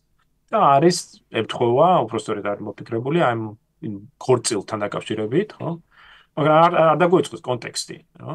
კონტექსტი არის, რომ ეს წვეულება, ეს ეს მეჯლისი ეს ეს ეს ზეიმი ამ ქორწინების არის 10 წლიანი სამოქალაქო რელიგიურ ომის შემდეგ, ხო? ანუ 10 წელია კლავენ ერთმანეთს და ბოლოს მოდი შევთანხმდეთ, აღარ მოკლათ ერთმანეთი. შევრიგდეთ. შევრიგდეთ. და ერთი მხარე. ეს რაღაც კომუნისტები და მართლმადიდებლები რომ დამისწრიყვნენ სუფრასთან რაღაც მაგას გავს. აბერე დაждები და აღმოჩნდება რომ მე ხო აფცხოვარი მაგ მაგ იცი რა მაინტერესებს აი აი აი შეკითხვა მაქვს. არსებობდა ისეთი ღამე როდესაც ერთმანეთი დაპატიჟეს და ორივეს ჩაფიქრებული ქონდა ერთმანეთის ხოცად ცხემატყება და ორივესთვის მოულოდნელი იყო რომ მეორე მზად არის აგალ ექსანშენ უნდა მოვიძიო აა არ მახსენდება ამათ ხო აა მა კარგი კარგი. საიდემე რომ ორეო ხარეო ემზადებოდეს რამე ვიკინგური ის უნდა იყოს წესით. აი ხლა პარიში რო ვიყავი ამ ზაფხულს წავიყვანე ჩემ ბიჭებს წავიყვანე ასორეთ ადმირალ კოლინი რომელიც პროტესტანტების ხელმძღვანელი იყო მაგის საფლავზე წავიყვანე და ამწორი მოუყევი რა ეს ამბავი თქვი რომ ბარტოლომის ღამეს როგორ მიადგნენ ხო? წინა წინა დღე რამოდენიმე დღე ადრე მიადგნენ? 18-ში მიადგნენ. და ხო ხდება აა არუმატებელი ცდილობა რომ მოეკლათ. და მე უკვე თვითონ ბარტოლომის ღამე უკვე რაღაცა უნდა მომასწავე ავის მომასწავებელი არის ხო? რომ შენი პროტესტანტი თუ ხარ და შენი ერთ-ერთი წინამძღოლს მოკლას ცდილობენ რაღაც ალბათ უნდა მოსულიყვნენ აზზე მაგრამ დარჩნენ და მე უკვე ბარტოლომის ღამეს მოკლავენ ხო კოლინის და გადმოაგდებენ ფანჯრიდან ცნობილი სცენა არის შეუვარდებიან ოთახში მოკლავენ, გადმოაგდებენ, დავარდება და თავს რომ მოაჭრიან. და ეს ძალიან ისეთი კარგი კარგი მონუმენტი არის პარიზის შუაგულს კოლინ კოლინის თვითმიწყვილი. გძელვადიანად მოგვარდა მაგი მაშინ ანუ ეგ არ მახსოვს ოღონდ. ხო არა და ეგ არის რომ მაგაზე ხო კარგია რომ გამახსენე რომ პირიქით ხო მოგვარდა კი არა ამ ამის გამო რა თქმა უნდა დიდი ხოცვაჟლეტვა იქნება ხო რამდენი თითქოს ერთი კვირა გასცანს ეს ხოცვაჟლეტვა ქვეყნის მასშტაბით ხო რომ იქნება არა მარტო პარიზში იქნება რუანში ლიონში ბორდოში ანუ ბორდო ბორდო ხო საფრთხეში არის იქამდე ჩააღწევს ორლიანში და ათასობით აა პროტესტანტი ამ პროტესტანტი უმეტესად წილად პროტესტანტის პროტესტანტს მოკლავენ, ნუ კათოლიკეს შემოსხო, მაგრამ შედეგი რა არის ის რომ ეს სამოქალაქო რელიგიური ომი იფეთკებს ისევ და კიდევ 17 წელი გაგრძელდება რა, მართლა გამანადგურებელი აა შედეგი ექნება საფრანგეთისათვის. მხოლოდ უკვე 1599 წელს, როდესაც ფაქტურად აი ამ იმ ხალხიდან ვინც ამ ღონისძიებაში მონაწილეობდა. თითქმის აღარავინ დარჩება ცოცხალი მარტო ანრი ხო ანრი დე ბურბონი გადაურჩება და იცხოვრებს და არ მარტო იცხოვრება გაიმარჯვებს რა საბოლოოდ მოგახდება მეფე. და ამ ვალუას ოჯახიდან რომელიც აი ამ ამ ამ ამ მეჯლისზე იყვნენ და რომელთაც ხო აფიქრებული კონდეთ ეს ყველაფერი ფაქტურად ყველა მოგდება მოგეთ high risk high gain თამაში არის რა ხოცვაში ლეტყვათ სუფრასთან აი ხო აბარა თვითონ იმას მარტინი ხო მარტინს აკვი მაგას მარტინსაც ხო აქვს თქვა რომ ბევრი რამ რაც წერია ჯორჯ მარტინს იგულისხმება ის ხო ანუ იქ რო აქვს red weddings რო red wedding ხო აბარა ხო, ეს. ჩვენ ქართულ სინამდვილეშიც რო გადავხედოთ, მაგალითად ერთ-ერთი ტრაგიკული პიროვნება ჩემთვის, ну, ეხლა ძალიან ისეთ კომპლექსური პიროვნება არის, მაგრამ გიორგი მე-11-ს რო გადავხედოთ ხო მის მის ცხოვრებას და ფაქტურად შეიძლება ხო აი ამ სწორედ ამ წეულებას ხო, როდესაც ვიცით რომ თქვა, სხვა სხვა ცოტა სხვა სხვა მიდგომა არის, სხვა სხვა მომენტები არის, მაგრამ ვიცით რომ ამ გაზაფხულზე ხო ერთ-ერთ შეხვედრისას სრულებაზე ავღანელებთან ხო ამ მოკლავენ მასას და ამოჟლიტავენ მასთან ყოფ ქართულ ქვედანაყოფს და იწყება ეს ავღანელებზე ავღანელების ამბოხება რომელიც შემდეგ უკვე ირანს შეიწირავს მაისა და რა მაგას პირადად რატომ ერჩოდნენ აა მაცა ეგარ მახსოვს ეგარ მახსოვს არა. აა ნუ ეხლა გიორგი არის ეხლა ჩვენ თუ მას მივიჩნევთ მეფეთ ხო მაგრამ ეხლა ცოტა ობიექტურად რომ მიუდგეთ, იყო ვალი, ხო, ანუ იყო დანიშნული მართველი, ასე ვთქვათ. აა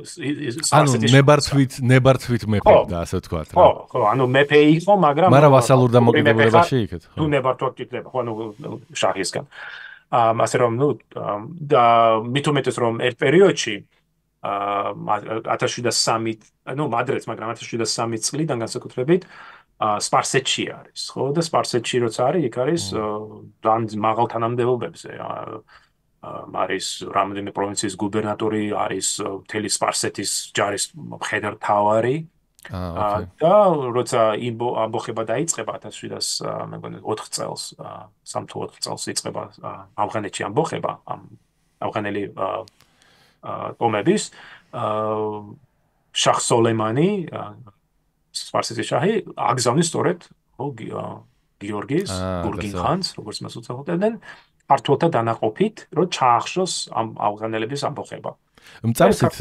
მუსლიმი იყო თუ ესა აი ხო იცი მაიში მინორსკის აქვს ეს ნათქვამი რომ ჯორდანს war islam very lightly on their shoulders აა ოკეი. იქითური აქითური რა ესე იყვნენ ხო რა თქმა უნდა მართლმადიდებელი მაგრამ მე გამახმადიან და და მაგრამ მექაშიც ლოცულობდა. ხო. ასაკადეს აღიღო საკადეს მაგალითი ხო იგი დები აგეთ ამ დემოკლეს გიორგი ჩადის ავღანეთში ახშობს ამ აჯანყებას ძალიან ისე კაცრად ძალიან კაცრად იქცევა.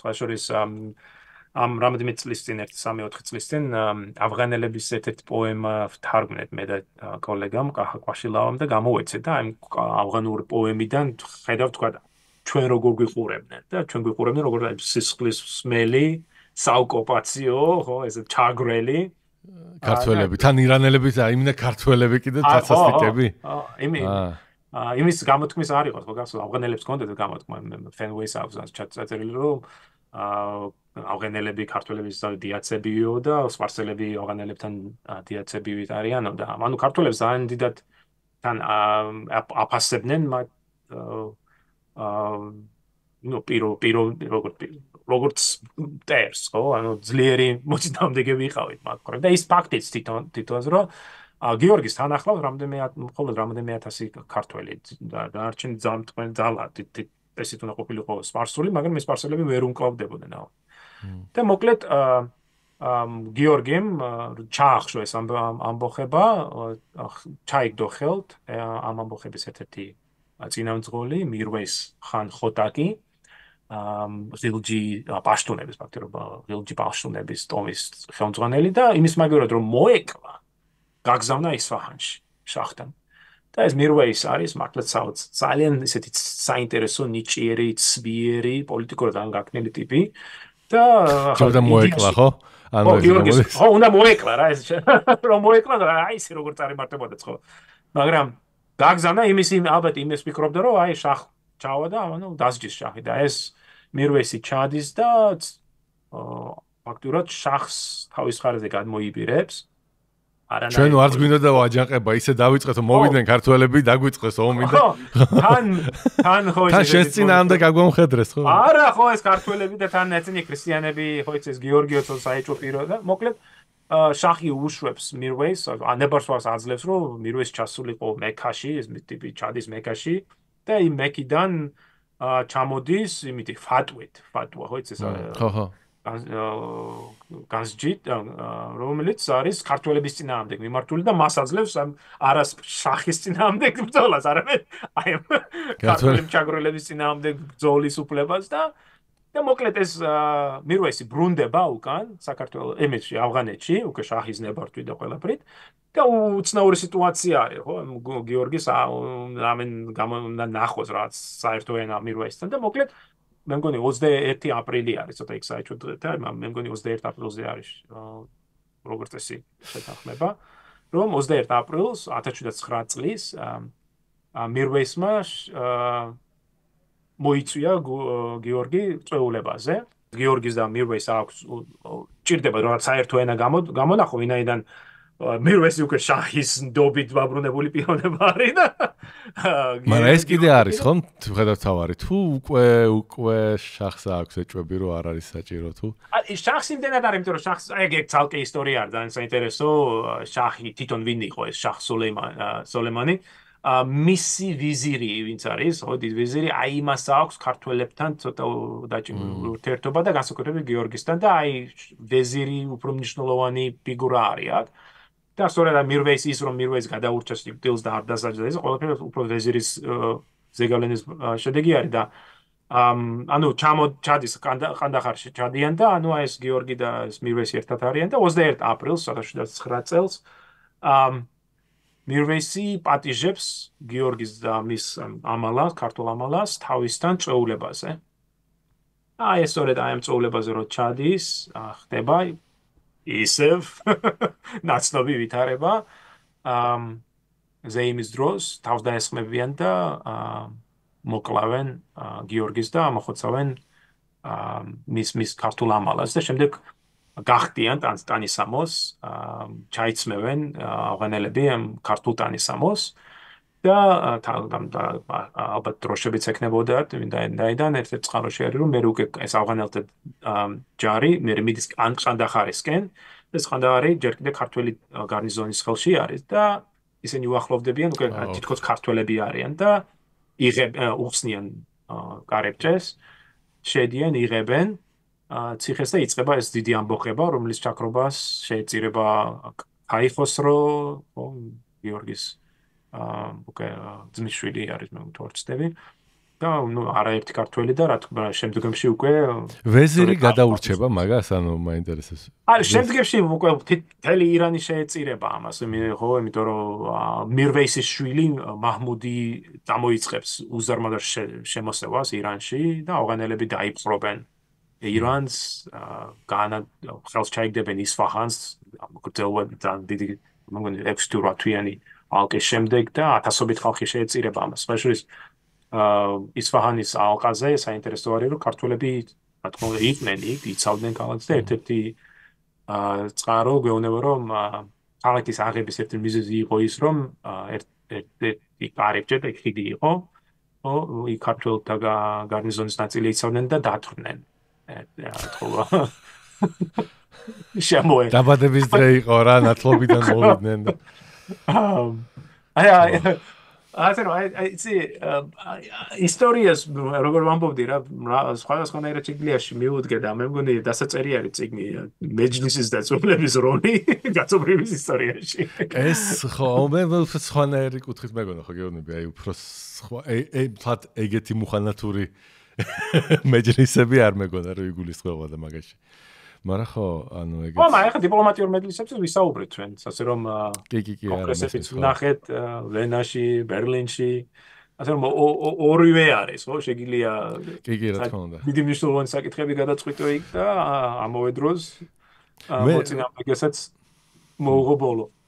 მე იცი რა მაინტერესებს ეგეთ წოლებებში შენც რო ამბობ რომ თქვა იცი რომ დაძაბული ურთიერთობა გაქვს იცი რომ აი შენზე თქვა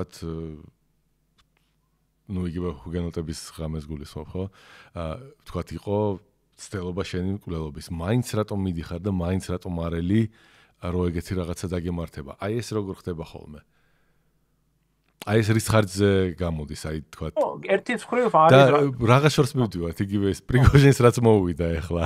მოაწყო ამბოხი, რის იმედი ქონდა? აი უბრალოდ ჩამახედა რა რა ანუ არის ხო, ანუ ერთი არის ნუ შეცდომას უშვებ.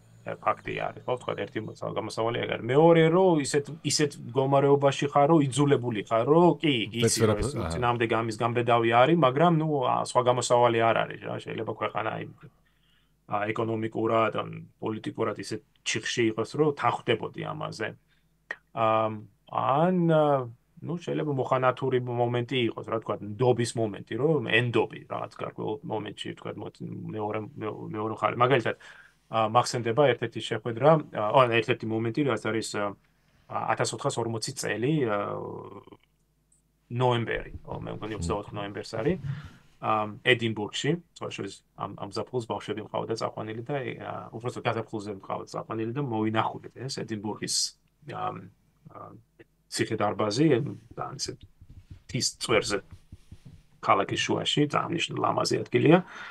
ამ და ამ წოულებას ესწრება შოტლანდიის მეფე ჯეიმსი 10 წლისა. ანუ ლაწირაკითო, ხო? და ამ მასთან ახლა დიდი წვეულება არის რაღაც და მასთან ერთად არიან, ანუ თავადები რა ეს. და ამ თავადებს შორის არიან ძმები, უილიამ და დეივიდ დაგლასები. ეს დაგლასები. მე მგონი აი ეს იყო აი Red Wedding-ის პროტოტიპი აი ეს. ხო, ხო, ხო. აი დაგლასები არიან, ну, რა ვიცი, აი ჩვენთან ვინ იქნება ბარათაშვილების დონის თავადები, ხო, ძალიან მნიშვნელოვანი და ესეთი. თუ იმის დონის დავით აღმაშენებელმა რო ამოხოცა. ბაღვაშების დონის. ბაღვაშების ხო. ბაღვაშების ანუ მე შემდეგ ორბელიანები ხო? ორბელი. აა და ესენი იღებენ მიიღებენ წოულებას და ახლა შენ თუ დაგლასი ხო თქვა უილიამ დაგლასი თუ ხარ ან დევიდ ბაგლასი ახლა შენ შეიძლება ვერ დაუშვა რომ 10 წლის ლაწირაკმა რაღაცა გაბედოს. ხო და მიდიხარ ამ წოულებაზე მაგრამ აი წარმოვიდგინე ჯდები რაღაცა სუპრა იშლება საჭმელი არის ვაუ და ამ დროს იღება კარი და აა შემოაგორებენ აა ის რა ქვია შავი შავი ხარის თავს.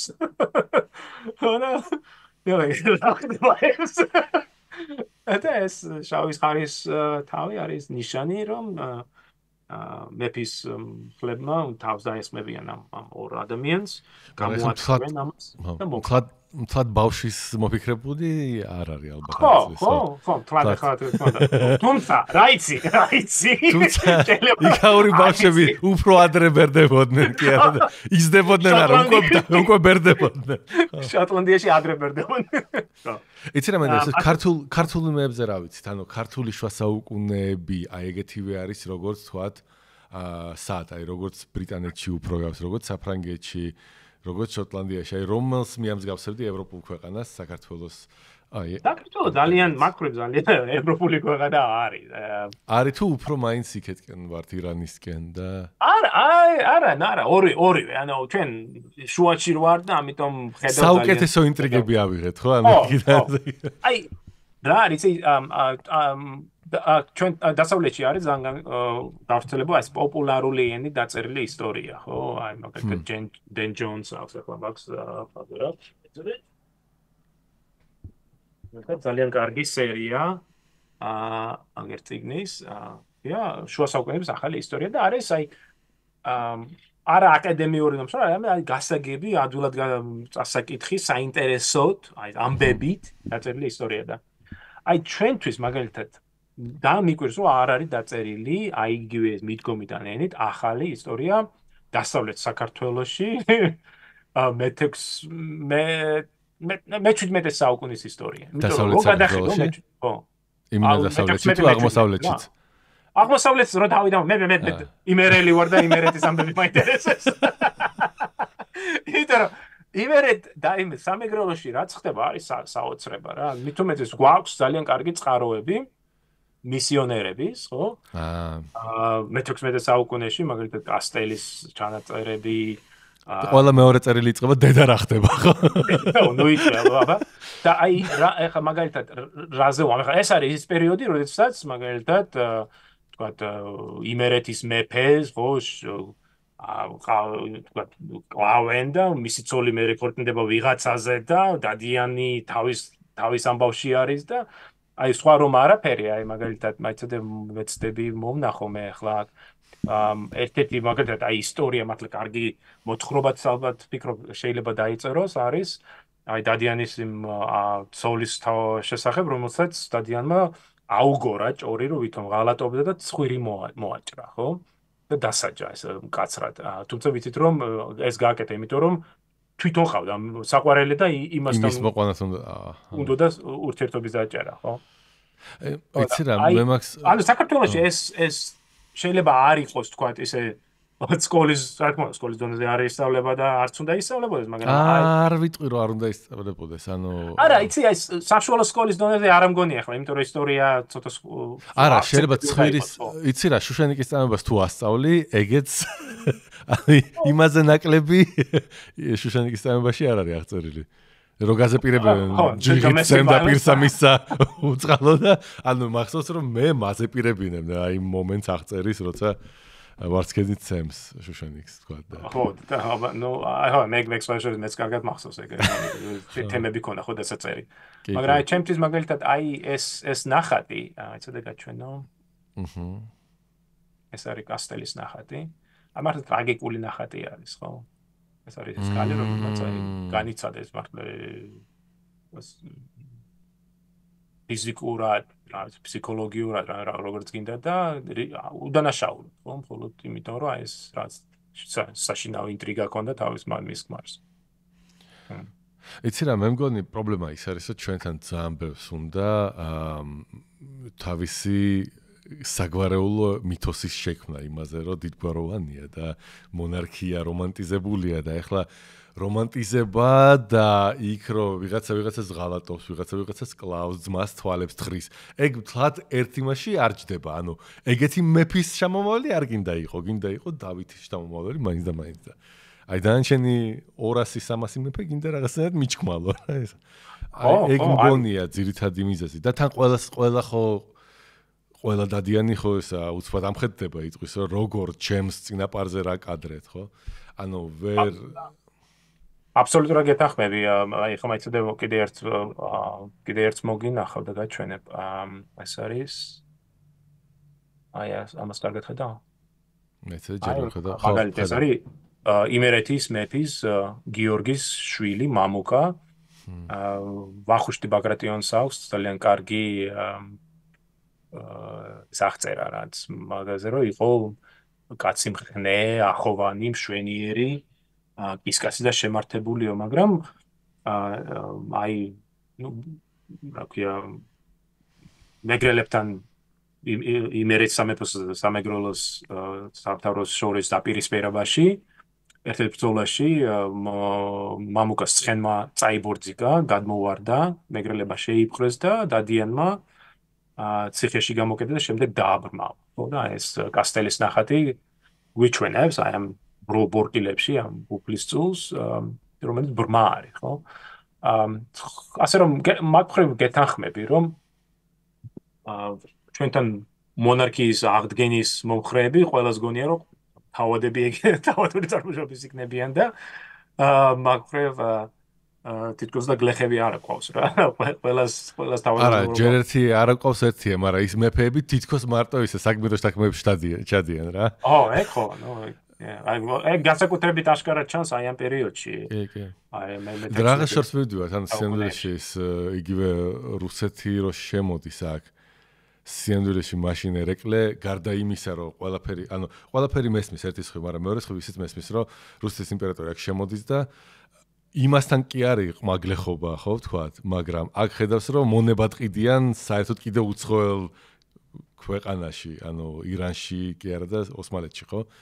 ხო, მაგრამ ახლა იმას ვერ ვიტყვი, რომ ეს თქვა აღმოსავლეთ და დასავლეთ საქართველოში მეფეები და მეფეები ებრძოდნენ აა თქვას კიდევ აღმოსავლეთში და დასავლეთში. სოლომონის არა არა მეფე შეიძლება ებძის მაგრამ დიდგვაროვნები რო დახედო ხო რა შვებიან ანუ მაგრამ იქაც ეს უფრო შეზღუდული არის იმდენად არ არის ხო თქვა ანუ აღერ ვიტყვი რომ ეს გავრცელებული დიდად ვთქვა სისტემა უწყობს ხო ერთეულ დონეზე შეიძლება იყოს ეს მაგრამ მაგრამ ესმის რასაც ამბობ რო თქვა თქვენთან სკვიდოა დიდი პრობლემა იყო ამ ამ პერიოდში და მე-17 საუკუნეში მით უმეტეს. ანუ ეს კი რუსების შემოსვლამდე რა მისი არ იყოს ხო გახსოვს დადიანის ელჩი რო ჩავა კონსტანტინოპოლში და თან რო წაიყოს და რაღაც 200-მდე კაცი იყო რამდენი ათეული კაცი ყავს ჩაყვანილი და იქ რო ჩადის ფული რო იცხოვრებ რო იცხოვროს ყიდის ამ ხალხს თათი თავად და შემდეგ უკვე ეულად ჩამოდის უკანო ამ ეს ეს ამ ამ ხრევ ნუ პრობლემა არის მაგრამ გამორჩეული არა ვარ მაგ ხრევ რამეთი რა ნუ ჩვენ იგივე პრობლემა არის რაც მალთა შუა ზღვის პირეთში შეგვიძლია ვნახოთ ბევრ სხვა ადგილას. აა აჰა, ოკეი. თურქ ანუ ჰმ ანუ თქვა ოსმალეთში ეგ მიღებული პრაქტიკაა, რომ თავის გლეხებს ყიდიან როგორც მონებს, ანუ იმ პერიოდში თუ მაინც აი მტერი უნდა იყოს დატყვევებული, აი ეს როგორ ხდება ხო? ანუ ახლა ოსმალეთში პრობლემა და თქვა მაგხრივის იქნება, რომ თუ ნუ შარის ხო შარიატის მიხედვით მუსულმანს ვერ ვერ გაყიდი მუსულმანი ვერ იქნება მონა ანუ შეგიძლია რომ დაიმონო და მე გამახმადიანდე და მე უკვე შენს პატრონს თქო სოციალური და წნეხის ქვეშ რომ გაგანთავისუფლოს მაგრამ არ არის ვალდებულება როგორც ეს მაგრამ ის არ არის რომ თქვა მუსულმანი იყო და დაგატყო დაგატყო და დაგამონო. ამიტომ ოსმალეთის შიგნით ეს ეს როგორც ესე თქო მუსულმანო მოსახლეობის მოსახლეობას არ ეხება, მაგრამ ეს ეხება აი პერიფერიას. ბალკანეთს ეხება, ხო თქო ბალკანეთის ქრისტიანულ მოსახლეობას. იტალიაში იყო რაღაცა მაგდაგვარი თუ იტალიაში მონობა გავრცელებული არის, ხო შორის შენ ალბათ ნახავდი, რომ ძალიან საინტერესო კვლევა იყო ერთი ორი წლის წინ ლეონარდო და ვინჩის წარმომავლობასთან დაკავშირებით, რომ დედამისის საავადოდ იყო მონაქალი და საავადოდ კავკასიელი მონაქალე ხა მაგაზე აგორდა ერთ ამბავი რომ აი არ არის ქართველი არის რა თქმა უნდა. ამ არანაირი ფიშობლის კალთა თუ შეეხებოდა ლეონარდოს ისევე დახატავდა აა სავარაუდო თუ იყო კავკასი თუ ყველა გვიჩვენ ყველა ფერ გვიჩვენ რომ იყო კავკასიელი ტყვე და თუ იყო ალბათ იქნებოდა ჩერქესი. მმ ქართველი. მაგრამ ნუ ეს იტალიაში იყო ეს მონათ მოდოფლობელობა გავრცელებული და მათ შორის ხალ შორის ქართველები ძალიან ბევრი ქართველი იყო თუმცა მათი კვალი იმდენად არ არის გამოკვეთილი. ანუ არქივებში მაგალითად ვენეციის არქივში და გენუის არქივში არის შემოსახული ცნობები როდესაც ქართველებს ყიდიან მონად. მონების ბაზარზე ან ჩამოყავდა რეგისტრაციას გადიან რა. ა ეს კი მე მე უფრო მაინტერესებდა თვითონ იტალიის შიგნით თუ ხდებოდა ესეთი მონათა გაყიდვა არა. იტალიელები ანუ მეზობელი ქალაქიდან მონადება წაიყვანა ეგეც არა. არა. მაგრამ ხდებოდა, ნუ მე-16 მე-17 საუკუნეში აა ასე უფრო ასე ჩრდილო აფრიკიდან შემოსევები, ხო? მაგალითად არა, ეგ ხო, უნისელი და ალჟირელი, ხო, მეკობრეები, ასე რომ ვთქვათ, ირლანდიამდე ჩადიოდნენ. კი. ირლანდიაში რა ცხოვრობდა, ერთგას გემს და ინახა. ვა, ეს რა არის? შემდეგ მეორე დღეს უკვე ხელ ხელ ხელ შებორკილი ზიხარ ნაუჯნა მიდიხარ ოსმალეთში მე ის ნახე ვიკინგების რაღაც ბანაკი იყო და სადაც ანუ გენეტიკური ანალიზი ჩაატარეს და იქ რამოდენიმე ძალიან უცნაური ეთნიკური წარმომადგენლობის ადამიანი ნახეს და იქაც თქვეს რომ საბარავდოთ იმდენად ინტერნაციონალური მეკობრეობა მიდიოდა რომ ეგენი equal equal opportunity offender იყო ვიცი ყველა სერჩონე ანუ თვითონ ვიკინგი ვინც იყო, ანუ თვითონ ვისაც აბჯერიაცია, ვისაც არ არისო იქაური, ანუ სადღაც ხმელთაშუა ზღვიდან არისო, საიდანღაცო იქიდანო და პირდა გაარკვიო.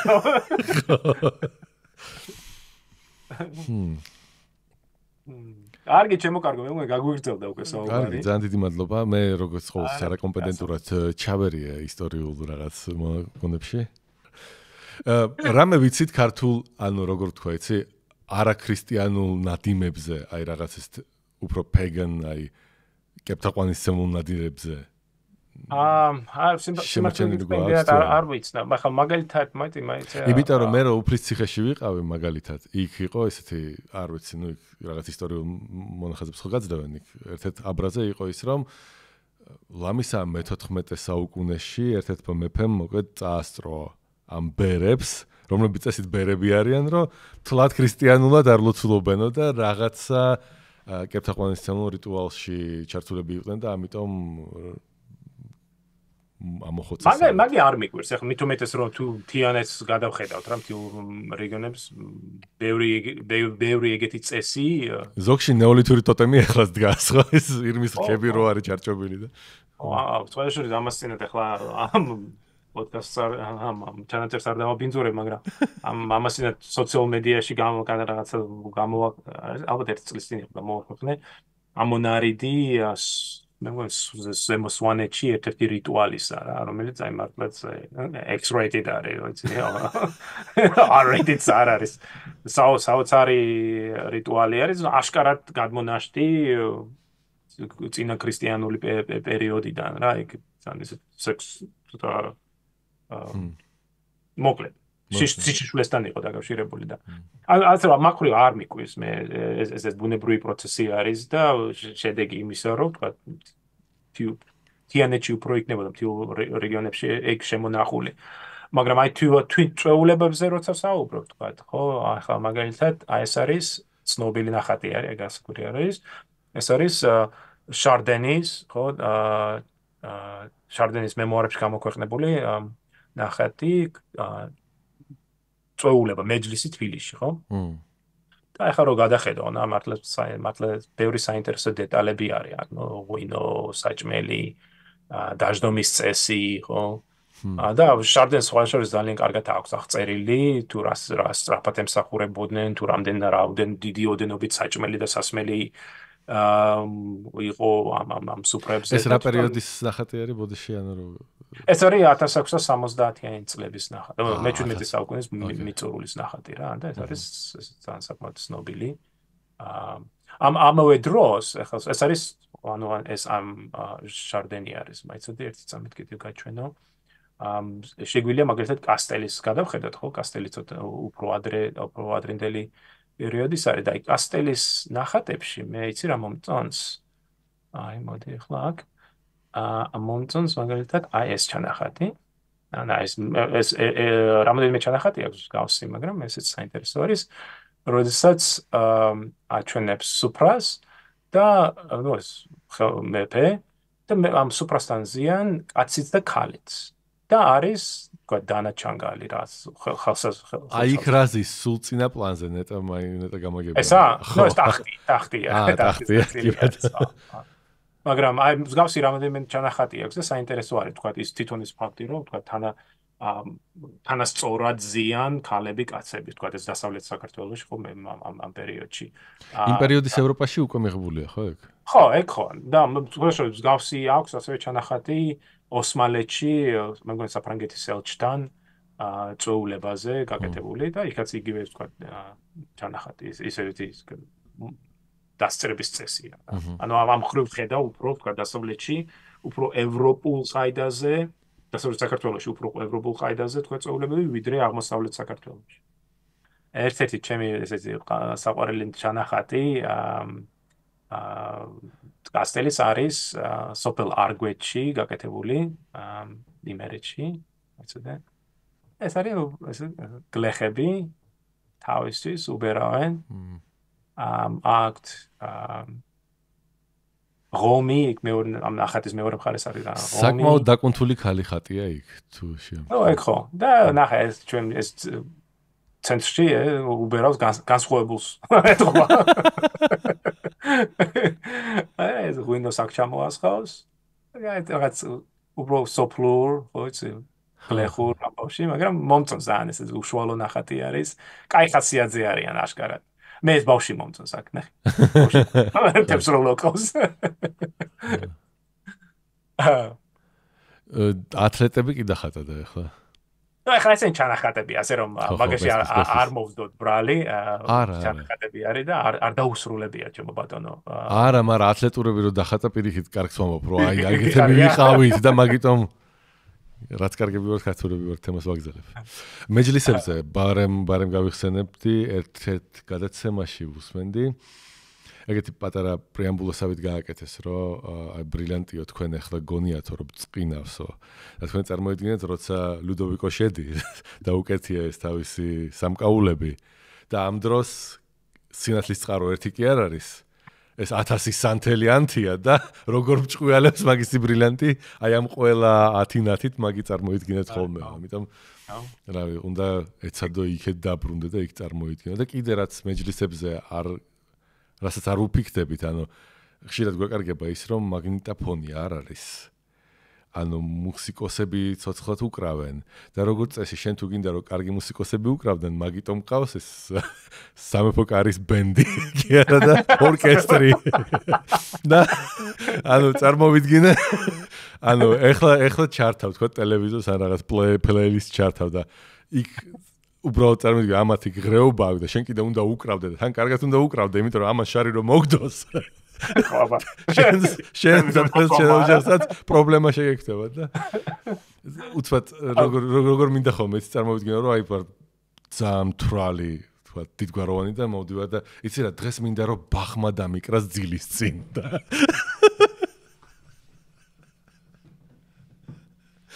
გამოდი უნდა დაგთვალო ხო ბოდიში ხმა ხმა დამიცა შენ.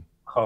არ ვიცი მე მომიყოლია შენთვის თუ არა, მაგრამ ეს ახლა ქართულ იტალიურ ამბავში რაღაც ეს საერთაშორისო ამბავი არის და შეიძლება კარ კარ კარგად დავამთავროთ მაგით. აა ეს არის 1640-იან წლებია დასაწყისი, ანუ ლუდოვიკო მე-13 ჯერ კიდევ ცოცხალი არის. მმ. ოქროს და 1 ან 2 წელი იქნება და და აა მოკლედ ფონტენბლოს სასახლეში არიან და დიდი ის წვეულება არის. მე-13 ეს რომელია თუ ის მე-15-ია? აფრემოა ლუდელუჟ ეს რომელი არის? აი მე-15-ია. ე მაგი მაგის წვეულები ისაკე. ტიპს ტიპ მაშეკნა ოფიციალური ოდება მეფის საყვარლის და 14 ხალხს ეკავა ოფიციალურად. ანუ მაგის მაგის მეჯლისები აა ცნობილი იქნებოდა მაგრამ აა ნა არა აქ იცი რა მე სარ მე-13 ანუ ეს არის ახლა 100 წლით ადრე აა რიშელის პერიოდი და აა ფონტენბლოში აუთ ეს ეს წეულება. და მოკლედ აა ამ პონტებლოს თუ თუ გინახავს სასახლე ძალიან ცნობილი შესასვლელი აქვს რა ძალიან იბეებია ულამაზესი ის მოღუნული არ დავიბრალებ რომ ახსოვს. ანუ შეიძლება ნანახი მაქვს მაგრამ ხო ხო ასიანი გეკნება ნანახი და აა ნუ მოკლედ ამ წოულების რაღაც უკვე იწება მეფე რაღაც დიდი ამბავი და ხუთშაბათი დღე არის 11 ოქტომბერი. არა 40-იანი წლები არ იქნება უფრო ადრე იქნება. მაგრამ ნუ მახსოვს რომ 11 ოქტომბერია შეიძლება რიშელიე სანამ აი აღზევებო ახალი აღზევებო. მოკლედ. ვისაც გაინტერესებს დაგუგლეთ მოკლედ რა. რაც ხო რა მეფე ლუი მე-13 არის და ჩამოდი ესე წოულება იქე იპე რაკეტური და აი ჩამოდის და უნდა წავიდეს სანადიროდ და ამ კიდეებზე ჩამოვიდა და უნდა ად დაждდეს ცხენზე როდესაც გამორბის ერთ-ერთი მოხელე და არიქა მეფე უნდა გადავარჩინოთო რა. მეფე საფრთხე ემუქრება ხელს სტაცებს რომ უნდა უნდა უნდა ვერ წახო სანადიროთ უნდა გადაგარჩინოთ ესე სადმე შეგიყვანოთ უსაფრთხო ადგილასო. რა ხდებაო და კაცო პრინცესა დეკონტი ძალიან დიდი თავადური ოჯახი და პრინცესა დეკონტი საძინებელთანო შეხლა შემოხლა მოხდა და ძიმე დაჭრილი კაცი იპოვესო და არიქა ვინ არის რა ხდებაო და გაგზავნეს და აღმოჩნდა რომ ეს დაჭრილი კაცი არის მანუჩარი ქართველი უფლისწული. ეხლა წარმოიდგინე მე რომ კითხულობ ამას და ეს კი რა ის ქართველი რა მანუჩარი? ხუიჩა ხუიჩა რა უნდა დამოჩისო ხო მეთქი რა მანუ ესე ფერია მანუჩარი ქართველი პრინცი დაახლოებით 30 წლის მეთქი ვახ ჩემი არიქა დიდი აღმოჩნდა მოკლედ ეს ქართველი ორ ადგილას არის დაჭრილი ცეცხლსხური იარაღით. სასტრაფოდ გადაიყვანეს ეს თან მაშინ ერთი ცეცხლსხური, ესე იგი ორი ესროლეს, ორი დამბაჭეს სხვადასხვა. გაყალეს. იმიტომ სანამ ეს გადაწენი. ცოტა მოიყვანეს აზრზე. ტიპი არ ანუ დაჭრილია, ცეცხლი იცლება, მაგრამ ნუ გადაარჩინეს და ცოტა ხანში მოკლედ მეფემ მოიკითხა როგორ არის, კარგად არის, აზზე არის და გაუშვეს უკვე გასაგამოძიებო მოდი ჯგუფი რო აბა რა ხდება. და დაკითხეს ეს და ამ კაც ამ ქარტულის დაკითხვის ოქმია. ბიჭო მე გაგიგეცი მო ითხოვა გიშდები რა რა. აა დაიბადა გაიზარდა საქართველოში. შაჰაბასის შემოსევების დროს აღმოჩნდა ყოეობაში. გადაასახლეს ის ირანში. აა დამახმადიანდა თავის ძმასთან ერთადო. ჩადგა შაჰის სამსახურში. უბრალოდ როგორც თქვა იცი, ძმა გამახმადიანდა და შაჰის სამსახურში ჩადგა და მე მე უარი ვთქვიო რა, მткиცეთ ვიყავი უარზეო და ამის გამო შაჰი გამწარდაო ჩემზეო და ელჩი მიდიოდაო კონსტანტინოპოლში და აი წაიყვანეს და გაყიდეო კონსტანტინოპოლშიო და აი ესე აღმოჩნდი ოსმალეთში და ოსმალეთშიო მე რო ვიყავი ну გამასხვისესო რა და გამ გამსხვისებით აღმოჩნდა ბალკანეთში, ბალკანეთიდან გაიქცა სლოვენიაში და სლოვენია იყო ამ დროს ვენეციელების ტერიტორია და აქო ვენეციელებმა შემიფარესო და და ნუ დეტალებს აღწერს, მაგრამ რომ ვენეციელებმა ჯერო 40 დღეო каранტინში ვყავდითო, რომ რამე არ შემოგვეწაო, მეო შემომომწეს შემოსვლის უფლებაო და მეო ვენეციაში 9 თვე ცხოვრობდიო მერე. აა ვენეციიდან რომში წავედიო და რა ენაზე საუბრობს გაფიცებ ახლა დავიტანჯები. რა ენაზე რა ენაზე წავსო რა ენაზე საუბრობს ოკეი. ო ნო ოქმი ფრანგული არის რა არის? დამტრეული ფრანგულითო რა ანუ ხოდა აა ეს გეტყვი რომ იტალიურსაც საუბრობდა და ბერძნულსაც. აა ნუ ხო კონსტანტინოპოლში ხო ნუ მოკლედ 4 ვეცო ვენეციიდან რომში წავე ჩავედიო და რომის პაპს პაპის კარზე ვიახელიო ერთ-ერთ კარდინალსო ბარბარინისო და აუხსენი ვინავარო სადავარო თხოვე დახმარებაო და ამ კარდინალმა გამოთქვა აი ნო ქრისტიანულ სიყვარული ამბავიო და შემიფარაო და 4 წელი ვემსახურეო მერეო აა აი საქართველოს დაბრუნება აღარ მინდოდაო და გადავწყვიტე საფრანგეთში წამოსულიყავიო და რა წამოვედი? აა იმისო ამ კარდინალს თხოვე წერილი და ამ წერილი ჩამოსულა საფრანგეთის კარზე, მივიდა ერთ-ერთ ფრანგ კარდინალთან, მიართო ეს წერილი და ამ კარდინალმა ჩაუწყო საქმე და საფრანგეთის მეფის სამსახურში ჩადგა. და არის არა მარტო საფრანგ არის საფრანგეთის მეფის ცველების გვარდი რეჟიმენ დი გარდ, ხო? დამცველების, ამ ფაქტობრივად მუშკეტერია რა ტიპი. აუ ამ დროისათვის გაგიჟებული ვარ. მეთქი ქართველი მუშკიტიორი და თან ამ წოულებაზე და ტიპი დაჭრილი მეფეს არჩენდა რა. ანუ მეთქი ეგ არის. ხო და აა ეხლა მეფე გადაარჩინეს მაგის ჭრილობის გამო მოკლედ ხო და ეხლა ეხლა უნდა იყოს ფლოტ ტვისტი როგორც სომერსეთ მოემის იმაში არის თუ შრამსა არა არა არა სომერს მოემის აქვს ესა ნაწარმოები ადამიანის იარით სახეზე. აჰა. და რაღაც დიდი დიდი ის არის, რომ მოკეთ აღწერს, რომ ეგო ეს იარას ხედავო და აო ეს ეს კაცი არის, იქ რაღაცა ბოლოს როგორ როგორ ამთავრებს, იცი რომ ტყუიები რო არ გათავებოდაო, იქო გახდებოდაო სამხედრო მინისტრიო და კიო ეგ ყველაფერი კიო, მაგრამ ეს იარა საიდან და აა ესო კონსორცის ქილა გახსნაო ამას წინათო და გაიჭრაო. დაახლოებით ეგ არის რა კაც.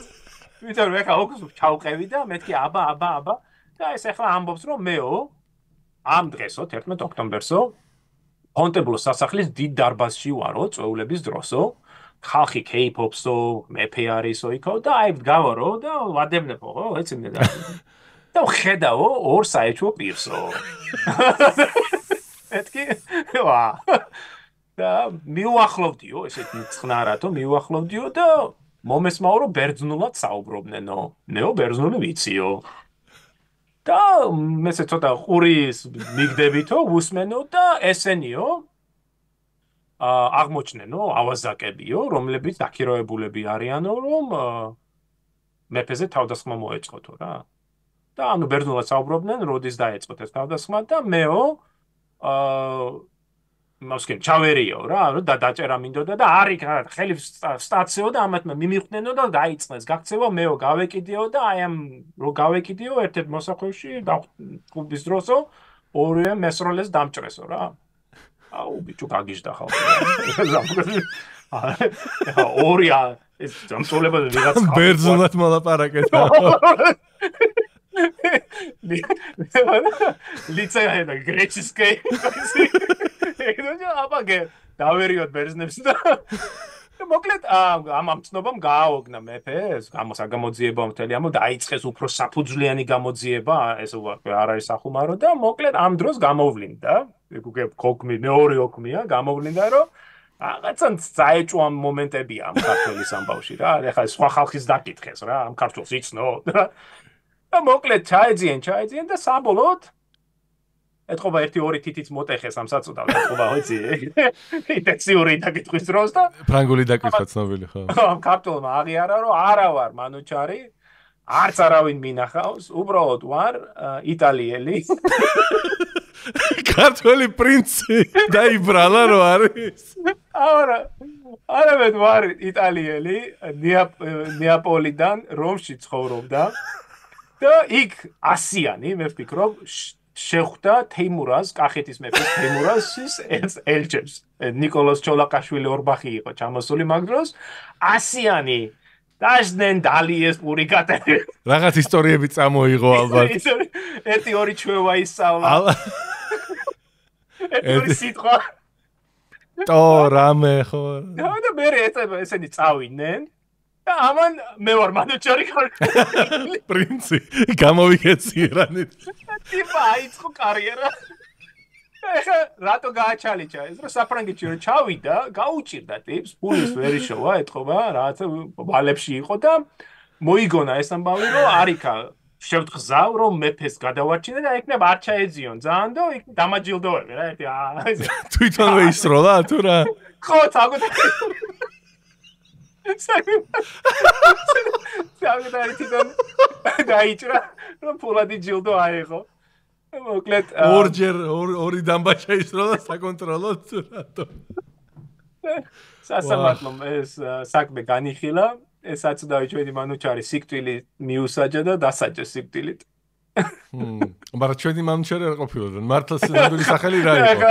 ხო არ გახსოვს ნამდვილი სახელი? მე იცი რას ვფიქრობ ნეტო აი ამის ამბავის რამე ჭორის დონეზე თუ დარჩა სულხან საბარო ჩავიდა. გამარტალია ეგ მაგის შემდეგ ჩავიდა თუ რა? მაგის შემდეგ თუ მანამდე 80 80 წელი გაშორებს ხო? ეს არის მე მგონი ეხლა ვფიქრობ მე მგონი 1629 წელს ხდება ეს იმიტომ რომ ჩოლოხაშვილი ირბახი იყო ჩასული მაგ დროს 26-ში 7-ში 8-ში და 9-ში ბრუნდება და აი როგორც მახსენდება 1629 წლის ოქტომბერში ხდება ეს. და სულხან საბა ჩადის 18 საუკუნის დასაწყისში 80 წლის შემდეგ. მაგრამ რა ვიცი იქნებდა დარჩა თქვა მოარული ამბავი და კარტოლები რომ მოვიდნენ აბა ეხა თქვენი ციტყვი ის თქვენს დაჯოჩები არ დაიწყოთ ხო დარტყმა? იმის სახელი ხო არ გახსოვს იმ იტალიელის აა არა თქვა შორის ოქში არ მახსოვს რომ ყოფილიყო აა სახელი. ის მხოლოდ მე როგორც მახსოვს იყო აღნიშნო რომ იყო კალაბრიელი იტალიელი ანუ ნეაპოლის ხრიდან უფრო კალაბრიის რეგიონიდან. იქაური ქუთაისელი რა. კარგი გაგებით ვამბობ ანუ ცუდი გაგებით არ მithქვამს ცოტა ისეთია ჩალიჩაკალაკი. ასე რომ აი მეჯლისებს თავისი კაი მუღამია რა რა ჩაეძიო და მოილხიდო. ხო, ნამდვილად კარგი ისტორია არის მეჯლისზე. ქართულზე და ხო. ეს დაკითხვაზე რო თქვი ერთი ორი თითით მოტეხესო. დოკუმენტურ ფილმს უყურებდი პირველი ცნობები იმაზე მაქციაზე ევროპაში, მე მგონი ზუსტად საფრანგეთში იყო. აა და იქ ადამიანმა არ უნდა დავაღერება, მაგრამ 8 საათიანი დაკითხვის შემდეგო. ხო წარმოვიდგინე 8 საათიანი დაკითხვა ინკვიზიციასთან რა არის? ინტენსიური დაკითხვა. ხო, ანუ ყველაფერს აღიარებ, რომ აქციაც ხარ, რა ვიცი. რაც კიდე. ხო, ყველაფერს ხელს მოაწ. ხო, ეგრეა. კაი, ძალიან დიდი მადლობა რომ დრო დამითვე. პირიქით, დიდი მადლობა. მადლობა რომ საინტერესო საუბრისათვის. თუ ოდესმე გამოგვივა ისა თემატური რაღაც სამხედრო ისტორიაზე მოგინდება სერიის შეკრა, ძალიან დიდი სიამოვნებით დავესწრები არაკომპეტენტური მსმენელის სახით. კარგი, აბა ჩემო კარგო. ყველას გილოცავ ახალწელს და უი სახალხო მეჯლისზე არაფერი არ ვთქვით, მაგრამ ეს შემდეგისთვის იყოს ალბათ. ხო, შემდეგი, ხო, შემდეგი იყოს სახალხო. და შემდეგ წელს ხო? სახალხო. კარგი, ყველას დიდი მადლობა. მადლობა ჩვენ პატრიონ მხარდაჭერებს. თუ მოგწონთ ეს გადაცემები, დაალაიქეთ, დააშერეთ. შეკითხვები დასვით ხოლმე კომენტარებში და ნახვამდის. და ალექსანდრე დიდი მადლობა.